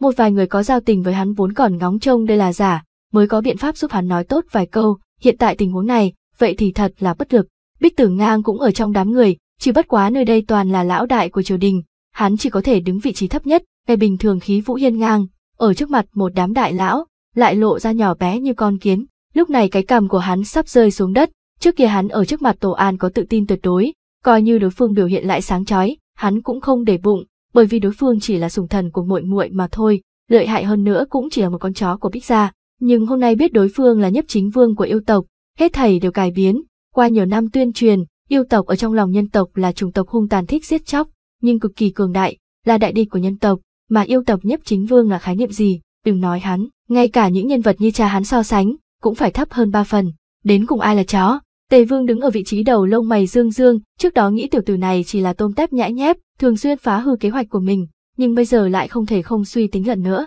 Lúc này thị trung bùi chính bước ra khỏi hàng nói, bệ hạ, kẻ này phạm tội khi quân, hơn nữa cấu kết yêu tộc, ngồi ở vị trí cao lại ẩn nhẫn không phát, thật sự là lòng lang dạ thú, mong bệ hạ chém đầu kẻ này, nghiêm tra dư đảng của yêu tộc. Thanh âm của hắn sục sôi không gì sánh được, dường như phẫn nộ, lại tựa hồ kích động hưng phấn, cũng khó trách hắn có biểu hiện như thế. Một hai năm trước, thế lực tề vương mạnh mẽ hạng gì, mọi người đều có lòng tin để tề vương lên ngôi hoàng đế. Kết quả từ khi Tổ An đến Kinh Thành, hết thầy đều cải biến, các loại quan viên hạ cấp, trung cấp của phe phái tề vương mất chức thì mất chức, bị mất quyền lực thì mất quyền lực, đoạn thời gian trước, thậm chí ngay cả trung thư thị Lang Ngọc Nam, thượng thư tả phó sạ Ngọc Huyền Trùng cũng lần lượt rơi đài. Sự tình Vân Trung quận càng làm cho Tề Vương mấy chục năm kinh doanh hủy hoại chỉ trong chốc lát, toàn bộ thế lực phe phái Tề Vương suy yếu tới cực điểm. Hết thầy đều có quan hệ với Tổ An, nhìn hắn một bước lên mây, trong lòng oán hận lại không thể làm gì. Bây giờ rốt cuộc tìm được cơ hội phản kích, ai không cao hứng. Tổ An nghĩ thầm gia gia của đại mạn mạn thật không nể mặt mũi, nếu hắn biết mình và cháu gái quan hệ,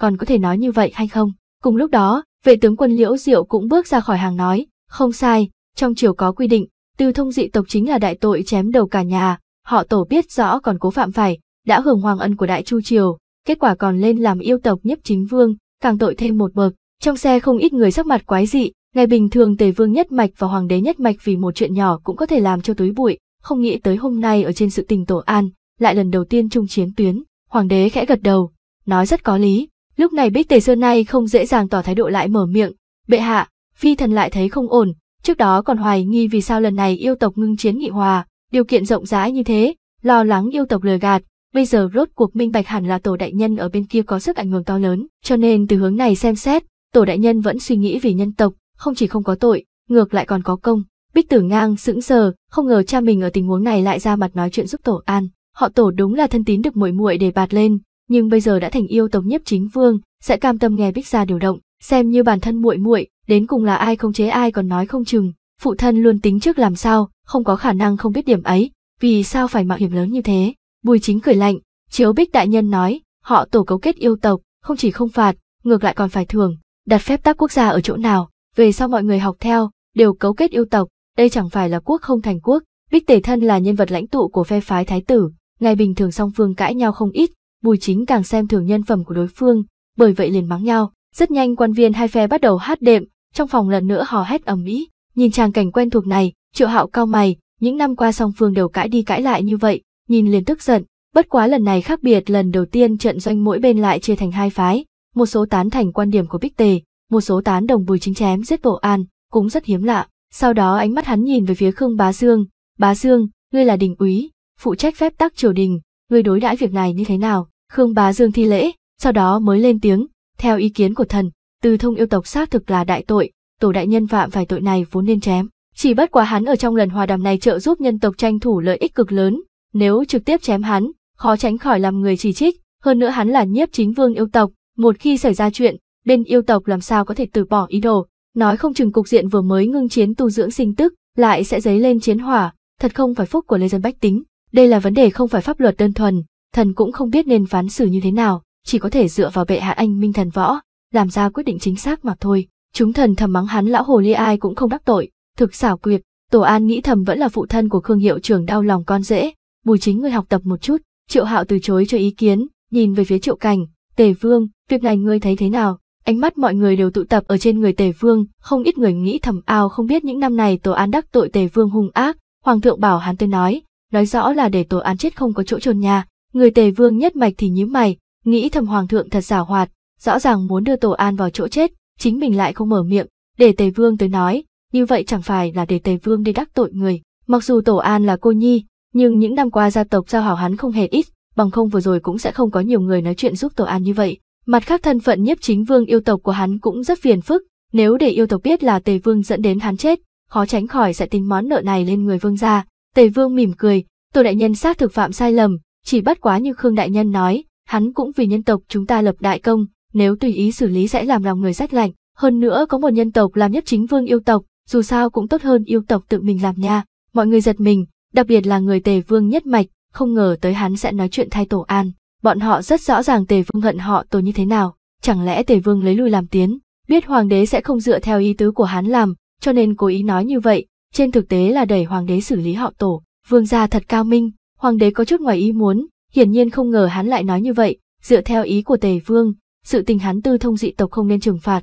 Tề Vương gật đầu, không chỉ không nên trừng phạt, hơn nữa còn phải trắng trợn phong thưởng, dù sao hắn lập công lao cái thế, hơn nữa thân phận nhất chính vương của hắn rất có lợi cho chúng ta, tương lai có thể thông qua hắn tranh thủ được càng nhiều lợi ích ở yêu tộc. Nghe nói như thế, mọi người xôn xao, Bùi Chính trở ngại mặt mũi của Tề Vương, tuy muốn nghiêm trị Tổ An, nhưng lúc này không tiện nói gì. Nhưng những đại thần của hoàng đế nhất mạch lại không có nhiều lo lắng như vậy, ao ao phản bác, một người cười lạnh nói, hắn đã là nhất chính vương yêu tộc, tề vương ngươi cho rằng hắn sẽ giúp yêu tộc càng nhiều, hay giúp nhân tộc càng nhiều, tề vương không để bụng, cái này đơn giản, phong vương cho tổ đại nhân là được, hai bên đều là vương, ta tin tưởng tổ đại nhân xuất thân nhân tộc, khẳng định càng nghiêng bên này, người tề vương nhất mạch kinh ngạc nhìn hắn, vốn cho là hắn chỉ lấy lui làm tiến, kết quả hiện tại xem ra là chơi thật, bích tử ngang càng ghen tị nhìn tổ an, trước đó đối phương được tước vị bá tước đã để hắn trông mà thèm, bây giờ còn có khả năng phong vương, hắn mới bao nhiêu tuổi, hơn nữa phong vương khác họ, đừng nói ở bàn triều, xem như các triều đại trước cũng là tồn tại tiền vô cổ nhân, hậu vô lai giả, người so với người thật tức chết người, có trong nháy mắt, hắn phát hiện mình phải nhìn lên người trước kia là nô tài, tâm thái thật lâu không thể bình tĩnh. Tổ An cũng ngoài ý muốn Tề Vương lại sẽ nói chuyện giúp mình, lúc này trong đầu vang lên thanh âm của Mỹ Ly. Cái này có gì mà giật mình, thế gian này chính là như vậy, người tốt người xấu đó là ấu trĩ người mới sẽ để ý, đối với đại đa số người tới nói, bọn họ chỉ để ý đối phương là hữu dụng hay vô dụng. Một người hữu dụng, coi như quan hệ lại không tốt, cũng sẽ rất dễ dàng tha thứ, ngược lại một người vô dụng, dù tính tình hắn lại thiện lương, cũng không có người sẽ để ý. Đây chính là giá trị lôi kéo, Tề Vương nhìn thấy thân phận của ngươi bây giờ, đánh giá trong lòng nâng cao, tự nhiên thái độ sẽ không giống trước. Tổ An cao mày, luôn cảm thấy nàng nói không khỏi quá cực đoan, thế nhưng trong lúc nhất thời không biết nên phản bác như thế nào. Lúc này Triệu Hạo tăng hắng một cái, Tề Vương nói có mấy phần đạo lý, bất quá chuyện Phong Vương quá kinh hãi thế tục, còn cần chậm rãi thương nghị, hắn đánh nhịp, hiển nhiên không có ý định truy cứu Tổ An, đại thần khác cũng không phải người ngu, mặc dù có vài người trong lòng không vui, nhưng không đến mức công khai ngỗ nghịch ý tứ của hoàng đế và tề vương. Rất nhanh quần thần lao nhau thảo luận phương pháp xử lý tổ an, công tội bù nhau, tạm thời không phạt không thường, đồng thời trong khoảng thời gian này tổ an không thể rời phụ cận. Tổ an đau đầu, vốn định đi tử sơn đoàn tụ với mấy hồng nhan, kết quả hiện tại chỉ có thể buộc ở chỗ này. Có điều hắn biết việc này treo lên thật cao, hiện tại nhẹ nhàng để xuống đã là kết cục không tệ, trước đó hắn thậm chí còn chuẩn bị liều mạng. Sau khi triều hội giải tán, thời điểm hắn đi ra ngoài, bỗng nhiên trong lòng hơi động, nhìn về bên phải, chỉ thấy một túi y sứ giả đứng ở đó, hoa văn của y phục khác một trời một vực, là đại thống lĩnh Chu Tà Xích Tâm mất tích đã lâu. Đại thống lĩnh, đã lâu không gặp, Tổ An chủ động đi qua, những đại thần kia liếc nhìn bên này một chút, trên mặt đều tràn ngập vẻ ghét bỏ, hiển nhiên cái tay tinh Chu Tà Xích Tâm này, mọi người tránh còn không kịp, cái này càng hợp ý hai người, không sợ nói chuyện bị ngoại nhân nghe được. Chu Tà Xích Tâm ân một tiếng, một đoạn thời gian không thấy, ngươi lại lên như diều gặp gió, thật là khiến người ta lau mắt mà nhìn. Cảm nhận được vẻ ghen ghét trong giọng nói của đối phương, trong lòng Tổ An hơi động, đột nhiên minh bạch tại sao Triệu Hạo lại biết thân phận nhất chính vương của mình, hơn phân nửa là gia hỏa này từ tiền tuyến mang về. Đại thống lĩnh nói quá lời, chỉ may mắn mà thôi, không phải vẫn làm việc ở dưới tay đại thống lĩnh sao? Tổ An bất động thanh sắc đáp lại, lúc này ánh mắt của Chu Tà Xích Tâm mới nhu hòa mấy phần, không cần thiết nôn nóng, cố gắng làm việc cho hoàng thượng, chỗ tốt sẽ không thiếu. Tổ An âm thầm cười lạnh, gia hỏa này giống như Triệu Hạo, đều là cao thủ lừa gạt, trên miệng nói chuyện đều rất dễ nghe, có điều hắn không biểu hiện ra ngoài, trước đó đại thống lĩnh đi nơi nào, trong khoảng thời gian này phát sinh rất nhiều chuyện, chấp hành nhiệm vụ bí mật, người nên biết quy củ của chúng ta, không nên hỏi thì đừng hỏi, Chu Tà xích tâm lạnh lùng trả lời, cảm nhận được mùi máu tanh nồng đậm trên người hắn, Tổ An cười lạnh, người không nói ta cũng biết ngươi đi làm sự tình thương thiên hại lý gì, đại thống lĩnh đã đột phá đại tông sư, mặc dù đối phương không có tận lực triển lãm, nhưng hắn vẫn có thể nhạy bén phát giác được khí tức của đối phương biến hóa, Chu Tà xích tâm sững sờ, không nghĩ đến sẽ bị hắn nhìn ra, bất quá tâm nguyện nhiều năm rốt cục thực hiện, trên mặt không nhịn được có chút ngạo ý, trước đó lấy được cơ duyên, thành công đột phá, chúc mừng chúc mừng, trong lòng Tổ An lạnh lẽo, cái gọi là cơ duyên kia, chắc là trước đó Đồ Thành mang đến. Bạn đang nghe lục địa kiện tiên được đọc tại kênh YouTube Di các phim, rất nhanh tạm biệt đối phương, trở lại trong đội ngũ, hắn lặng lẽ hỏi thăm Mị Ly, hoàng hậu sư phụ, ngươi đến cùng đã tỉnh lại lúc nào? Nhớ không rõ, khóe miệng Mị Ly khẽ nhếch, thời điểm ai đó thông đồng với sư phụ của người ta, thì tỉnh lại. Tổ An, sao ngươi lại có ham mê nhìn trộm biến thái như vậy? Thần sắc của Mỹ Ly lạnh lẽo, ngươi nói cái gì? Không có gì. Tổ An lầm bầm, ta chẳng qua cảm thấy, ngươi căn bản không có ngủ say qua. Trước đó bởi vì nàng nguyên khí đại thương, rơi vào trạng thái ngủ say khẳng định là không thể nghi ngờ, nhưng mấy lần sau ngủ say luôn cảm thấy có chút kỳ quặc. người không làm việc trái với lương tâm, ta ngủ hay không? người lo lắng cái gì? Mỹ Ly hừ lạnh, Tổ An nghĩ thầm ai hy vọng mỗi tiếng nói cử động của mình bại lộ ở trong mắt người khác. Đúng lúc này, bỗng nhiên trong lòng hơi động, nhìn về phía sau, chỉ thấy một nam từ trung niên đi tới. Vương gia có gì chỉ giáo, đến là Tề Vương. Tổ An không ngờ hắn sẽ trực tiếp đến tìm mình. Tổ đại nhân khách khí, a à không đúng, phải gọi nhiếp chính vương. Tề Vương cười nói, Tổ An nghi ngờ nhìn hắn, trong lúc nhất thời không rõ đối phương có thái độ gì, vừa rồi có phải bất ngờ hay không. Tề Vương nói thẳng, quả thật có chút ngoài ý muốn. Tổ An cười cười, tựa hồ Hoàng huynh muốn đẩy ngươi vào chỗ chết, những đại thần dưới trướng hắn, không ít người cũng có ý đó. Tề Vương thở dài, thủ hạ của Vương gia không phải cũng có rất nhiều người như vậy sao? Thần sắc Tổ An bình tĩnh, cái này không giống nhau. Tề Vương lắc đầu, những năm này Tổ đại nhân trung thành với Hoàng huynh, đáng tiếc cuối cùng lại thành cô thần. Tổ đại nhân là người thông minh, cần phải rõ ràng làm cô thần sau cùng đều không có kết cục tốt. Tổ An nói, Vương gia, bằng vào quan hệ trước đó của chúng ta, ngài tới nói những thứ này, tựa hồ không có ý nghĩa gì. Tề Vương gật đầu, không sai, trước đó bản Vương quả thật hận ngươi thấu xương, nhưng những chuyện kia đã qua, hiện tại không giống ngày xưa, chúng ta phải nhìn về phía trước, bởi vì thân phận nhiếp chính vương của ta, Tổ An tự giễu cười nói, ta không phủ nhận có yếu tố này, Tề Vương nói, nhưng xét đến cùng không có địch nhân vĩnh viễn, chỉ có lợi ích vĩnh hằng, trong khoảng thời gian này ta thờ ơ lạnh nhạt, tựa hồ Hoàng huynh cũng không có chính thức tiếp nhận ngươi, mà chuẩn bị coi ngươi thành con bò, ngươi hẳn có thể cảm nhận được điểm này, đến cùng vương gia muốn nói cái gì, Tổ An trầm giọng nói, còn nhớ trước kia chúng ta nói qua hợp tác một lần không, không ngại lại hợp tác lần nữa, Tề Vương không có dấu diếm ý đồ đến, Tổ An cười, vương gia, coi như ta đáp ứng, ngươi chưa chắc sẽ tin tưởng, ta cũng không có khả năng tin ngươi, loại hợp tác này có ý nghĩa gì chứ, trước kia xác thực có vấn đề này, Tề Vương gật đầu, đột nhiên thần sắc trở nên nghiêm túc, nhưng nếu chúng ta thành người một nhà thì sao, Tổ An khẽ giật mình, vương gia nói giỡn, ngài là thành viên hoàng thất, ta chỉ là dân chúng bình thường, coi như quan hệ tốt như thế nào đi nữa, cũng không đến mức được xưng người một nhà, hắn nghĩ thẩm tề vương này là gấp hồ đồ, lôi kéo ta thì thôi, cầm lý do vụng về như thế thật mất phong độ, coi như hai người liên minh, khẳng định cũng đều mang tâm tư, quan hệ chưa hẳn tốt được, càng không nói đến người một nhà. Tề vương lại không để bụng, khẽ cười nói, bản vương có một hòn ngọc quý trên tay tên tiểu điệp, từ nhỏ phấn trang ngọc thế, cực kỳ yêu thích, về sau đưa nàng đến ly hận thiên tu hành, tư chất tu hành của nàng cũng được xưng tụng ưu tú, không phải ta làm cha khoe khoang, nàng xứng đáng bốn chữ tài bạo song toàn. Sau đó hắn chợt nhớ tới cái gì, cười nói, trước đó tổ đại nhân một mực ở Tử Sơn, nghĩ đến hẳn gặp qua nàng. Tổ an bản năng gật đầu, gặp qua, quận chúa xác thực rất xinh đẹp, chỉ là tính tình có chút kỳ quái, có khuynh hướng bạo dâm. Đương nhiên lời này hắn không dám nói cho tề vương, bằng không đối phương biết mình từng cầm roi quất nữ nhi bảo bối của hắn, nói không chừng sẽ trở mặt tại chỗ. Nghe hắn tán thành, trên mặt tề vương lộ ra vẻ vui mừng, bây giờ tuổi tác của tiểu nữ đã thích hợp lấy chồng. Theo ta biết, bây giờ tổ đại nhân cũng không có hôn phối, ta thấy các người trai tài gái sắc, chính là trời đất tạo nên một đôi. Nghe hắn nói, tổ an sửng sốt, không ngờ hắn sẽ có đề nghị như vậy. Lúc này trong đầu vang lên tiếng cười của Mị Ly, không tệ không tệ, một đoạn thời gian không thấy, tiểu tử ngươi sống càng ngày càng tốt, ngay cả vương gia cũng muốn thu ngươi làm con rể. Tổ an tức giận trả lời, đừng có âm dương quái khí, giúp ta tham mưu tề vương này đến cùng nghĩ như thế nào.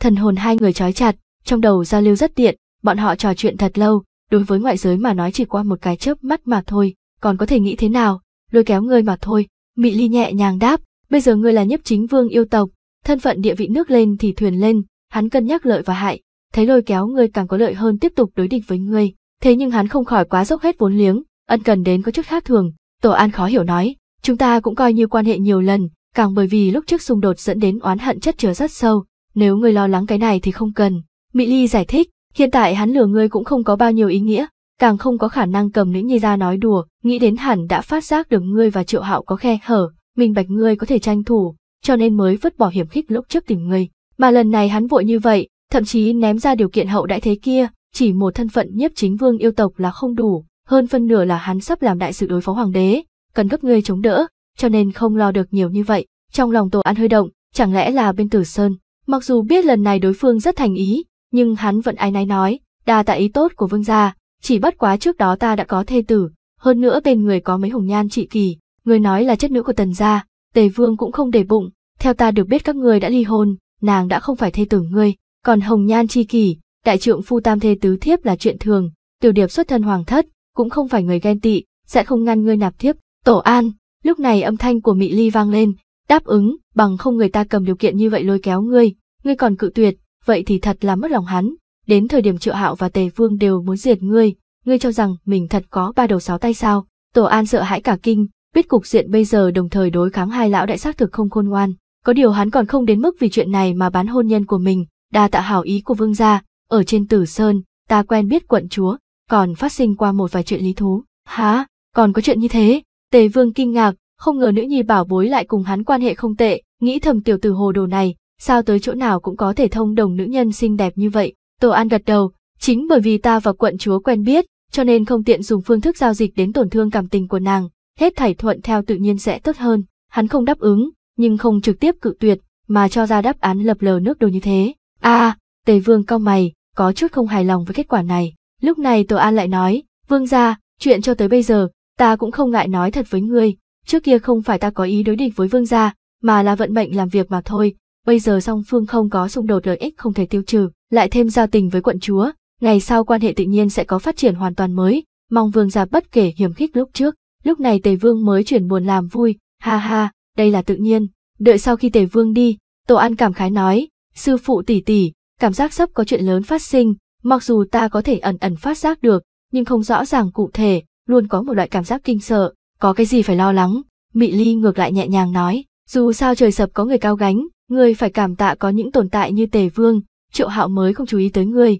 bằng không lấy những sự tình ngươi làm, hắn sớm đã nghiền xương ngươi thành cho. Tổ An ngượng ngùng cười cười, cũng không nghiêm trọng như vậy, ta làm rất nhiều chuyện hắn không biết, ngươi không có trải qua hoàng thất giáo dục, không rõ ràng phương thức tư duy của hoàng gia. Mị Ly lắc đầu nói, chỉ bằng trong lòng hoàng đế không thích ngươi, ngươi đã định trước không có kết cục tốt, bây giờ bất quá là ngươi còn có chút giá trị lợi dụng mà thôi. Mặt khác lần trước trong bí cảnh Tây Khuyến Khâu, hắn tổn thất một phân hồn, tuy không biết bên trong phát sinh chuyện gì, nhưng sống sót đi ra chỉ mấy người các ngươi, đối với hoàng đế mà nói, thà giết lầm cũng không bỏ qua, chờ hắn xử lý tề vương xong, sẽ đến phiên ngươi, cho nên ngươi mới bảo ta đồng ý quan hệ thông gia với tề vương. Tổ An cảm khái nói, gia hỏa tham hoa háo sắc nhưng ngươi, không biết dây thần kinh nào nhảy sai lại cự tuyệt, triệu tiểu điệp kia ta xem qua, mặc dù hơi không bằng nha đầu họ sở, nhưng cũng là mỹ nhân vạn người chọn một, ngươi không lỗ lã nha. Mị Ly có chút tức giận, nữ nhân kia có chút biến thái, huống chỉ ta còn không cần bán sắc đẹp của mình. Tổ An bất mãn, Mị Ly khẽ cười một tiếng, hựa ảnh duỗi ra bàn tay nâng cái cằm của hắn, chật chật chật, không nghĩ tới còn có cốt khí. Bỗng nhiên Tổ An lấy lại tinh thần, ngươi xem qua triệu tiểu điệp, vậy chẳng phải ngươi đã sớm tỉnh, đã sớm tỉnh, bằng không sẽ bỏ lỡ rất nhiều sự tình đặc sắc. Mị Ly cảm khái nói, tiểu tử ngươi thật đúng là đào hoa tinh, lại còn thông đồng sư phụ của người ta, tuy hai nữ nhân kia rất đẹp, nhưng không biết lớn hơn ngươi bao nhiêu tuổi, khẩu vị còn rất nặng. Nói đến đây, bỗng nhiên nàng biến sắc, tiểu tử, ngươi sẽ không cũng có ý nghĩ với ta đó chứ. Tổ An trợn mắt, ta là loại người cưỡi sư diệt tổ sao, Mị Ly nghĩ cũng phải, nàng vốn chỉ thuận miệng nói mà thôi, hai người lại trò chuyện một hồi, còn có sự tình hắn tu hành, tổ đại ca, lúc này một bóng người xinh đẹp, cưỡi một con yên chim mã nhanh chóng chạy tới, đôi chân dài phối hợp với eo thon, khống chế con ngựa cao to cực kỳ thành thạo, cả người giống như nữ tướng quân, tư thế hiên ngang, lại có nữ nhân tới tìm ngươi, Mị Ly trợn mắt, trực tiếp biến mất không thấy gì nữa. Thanh Hà muội muội, hai vị tần huynh, Tổ An nhìn mấy người chấp tay, trừ mộ dung Thanh Hà, hai huynh đệ tần gia cũng tới, hai huynh đệ đáp lễ, ánh mắt nhìn về phía hắn có chút phức tạp, mộ dung Thanh Hà nhanh mồm nhanh miệng, tổ đại ca, nghe nói ngươi là nhiếp chính vương yêu tộc, Tổ An sững sờ, ngay cả các ngươi cũng biết, là thật sao? Mộ dung Thanh Hà kinh hô, khuôn mặt tràn ngập chấn kinh, đừng nói nàng, ngay cả tần quang viễn xưa nay tự xưng trầm ổn cũng lộn xộn, mà tần vĩnh đức ngả ngớn thì càng si ngốc, cả kinh nói không ra lời, phải biết bọn họ xuất thân tần gia, có thể nói là gia tộc cao cấp nhất đại chu triều, loại gia thế này, bọn họ chính là công tử ca cao cấp nhất trong vòng tròn kinh thành. Kết thúc tập này ở đây nha mọi người, nếu không tìm thấy tập cần nghe các bạn vào danh sách phát để xem nhé. Cảm ơn mọi người.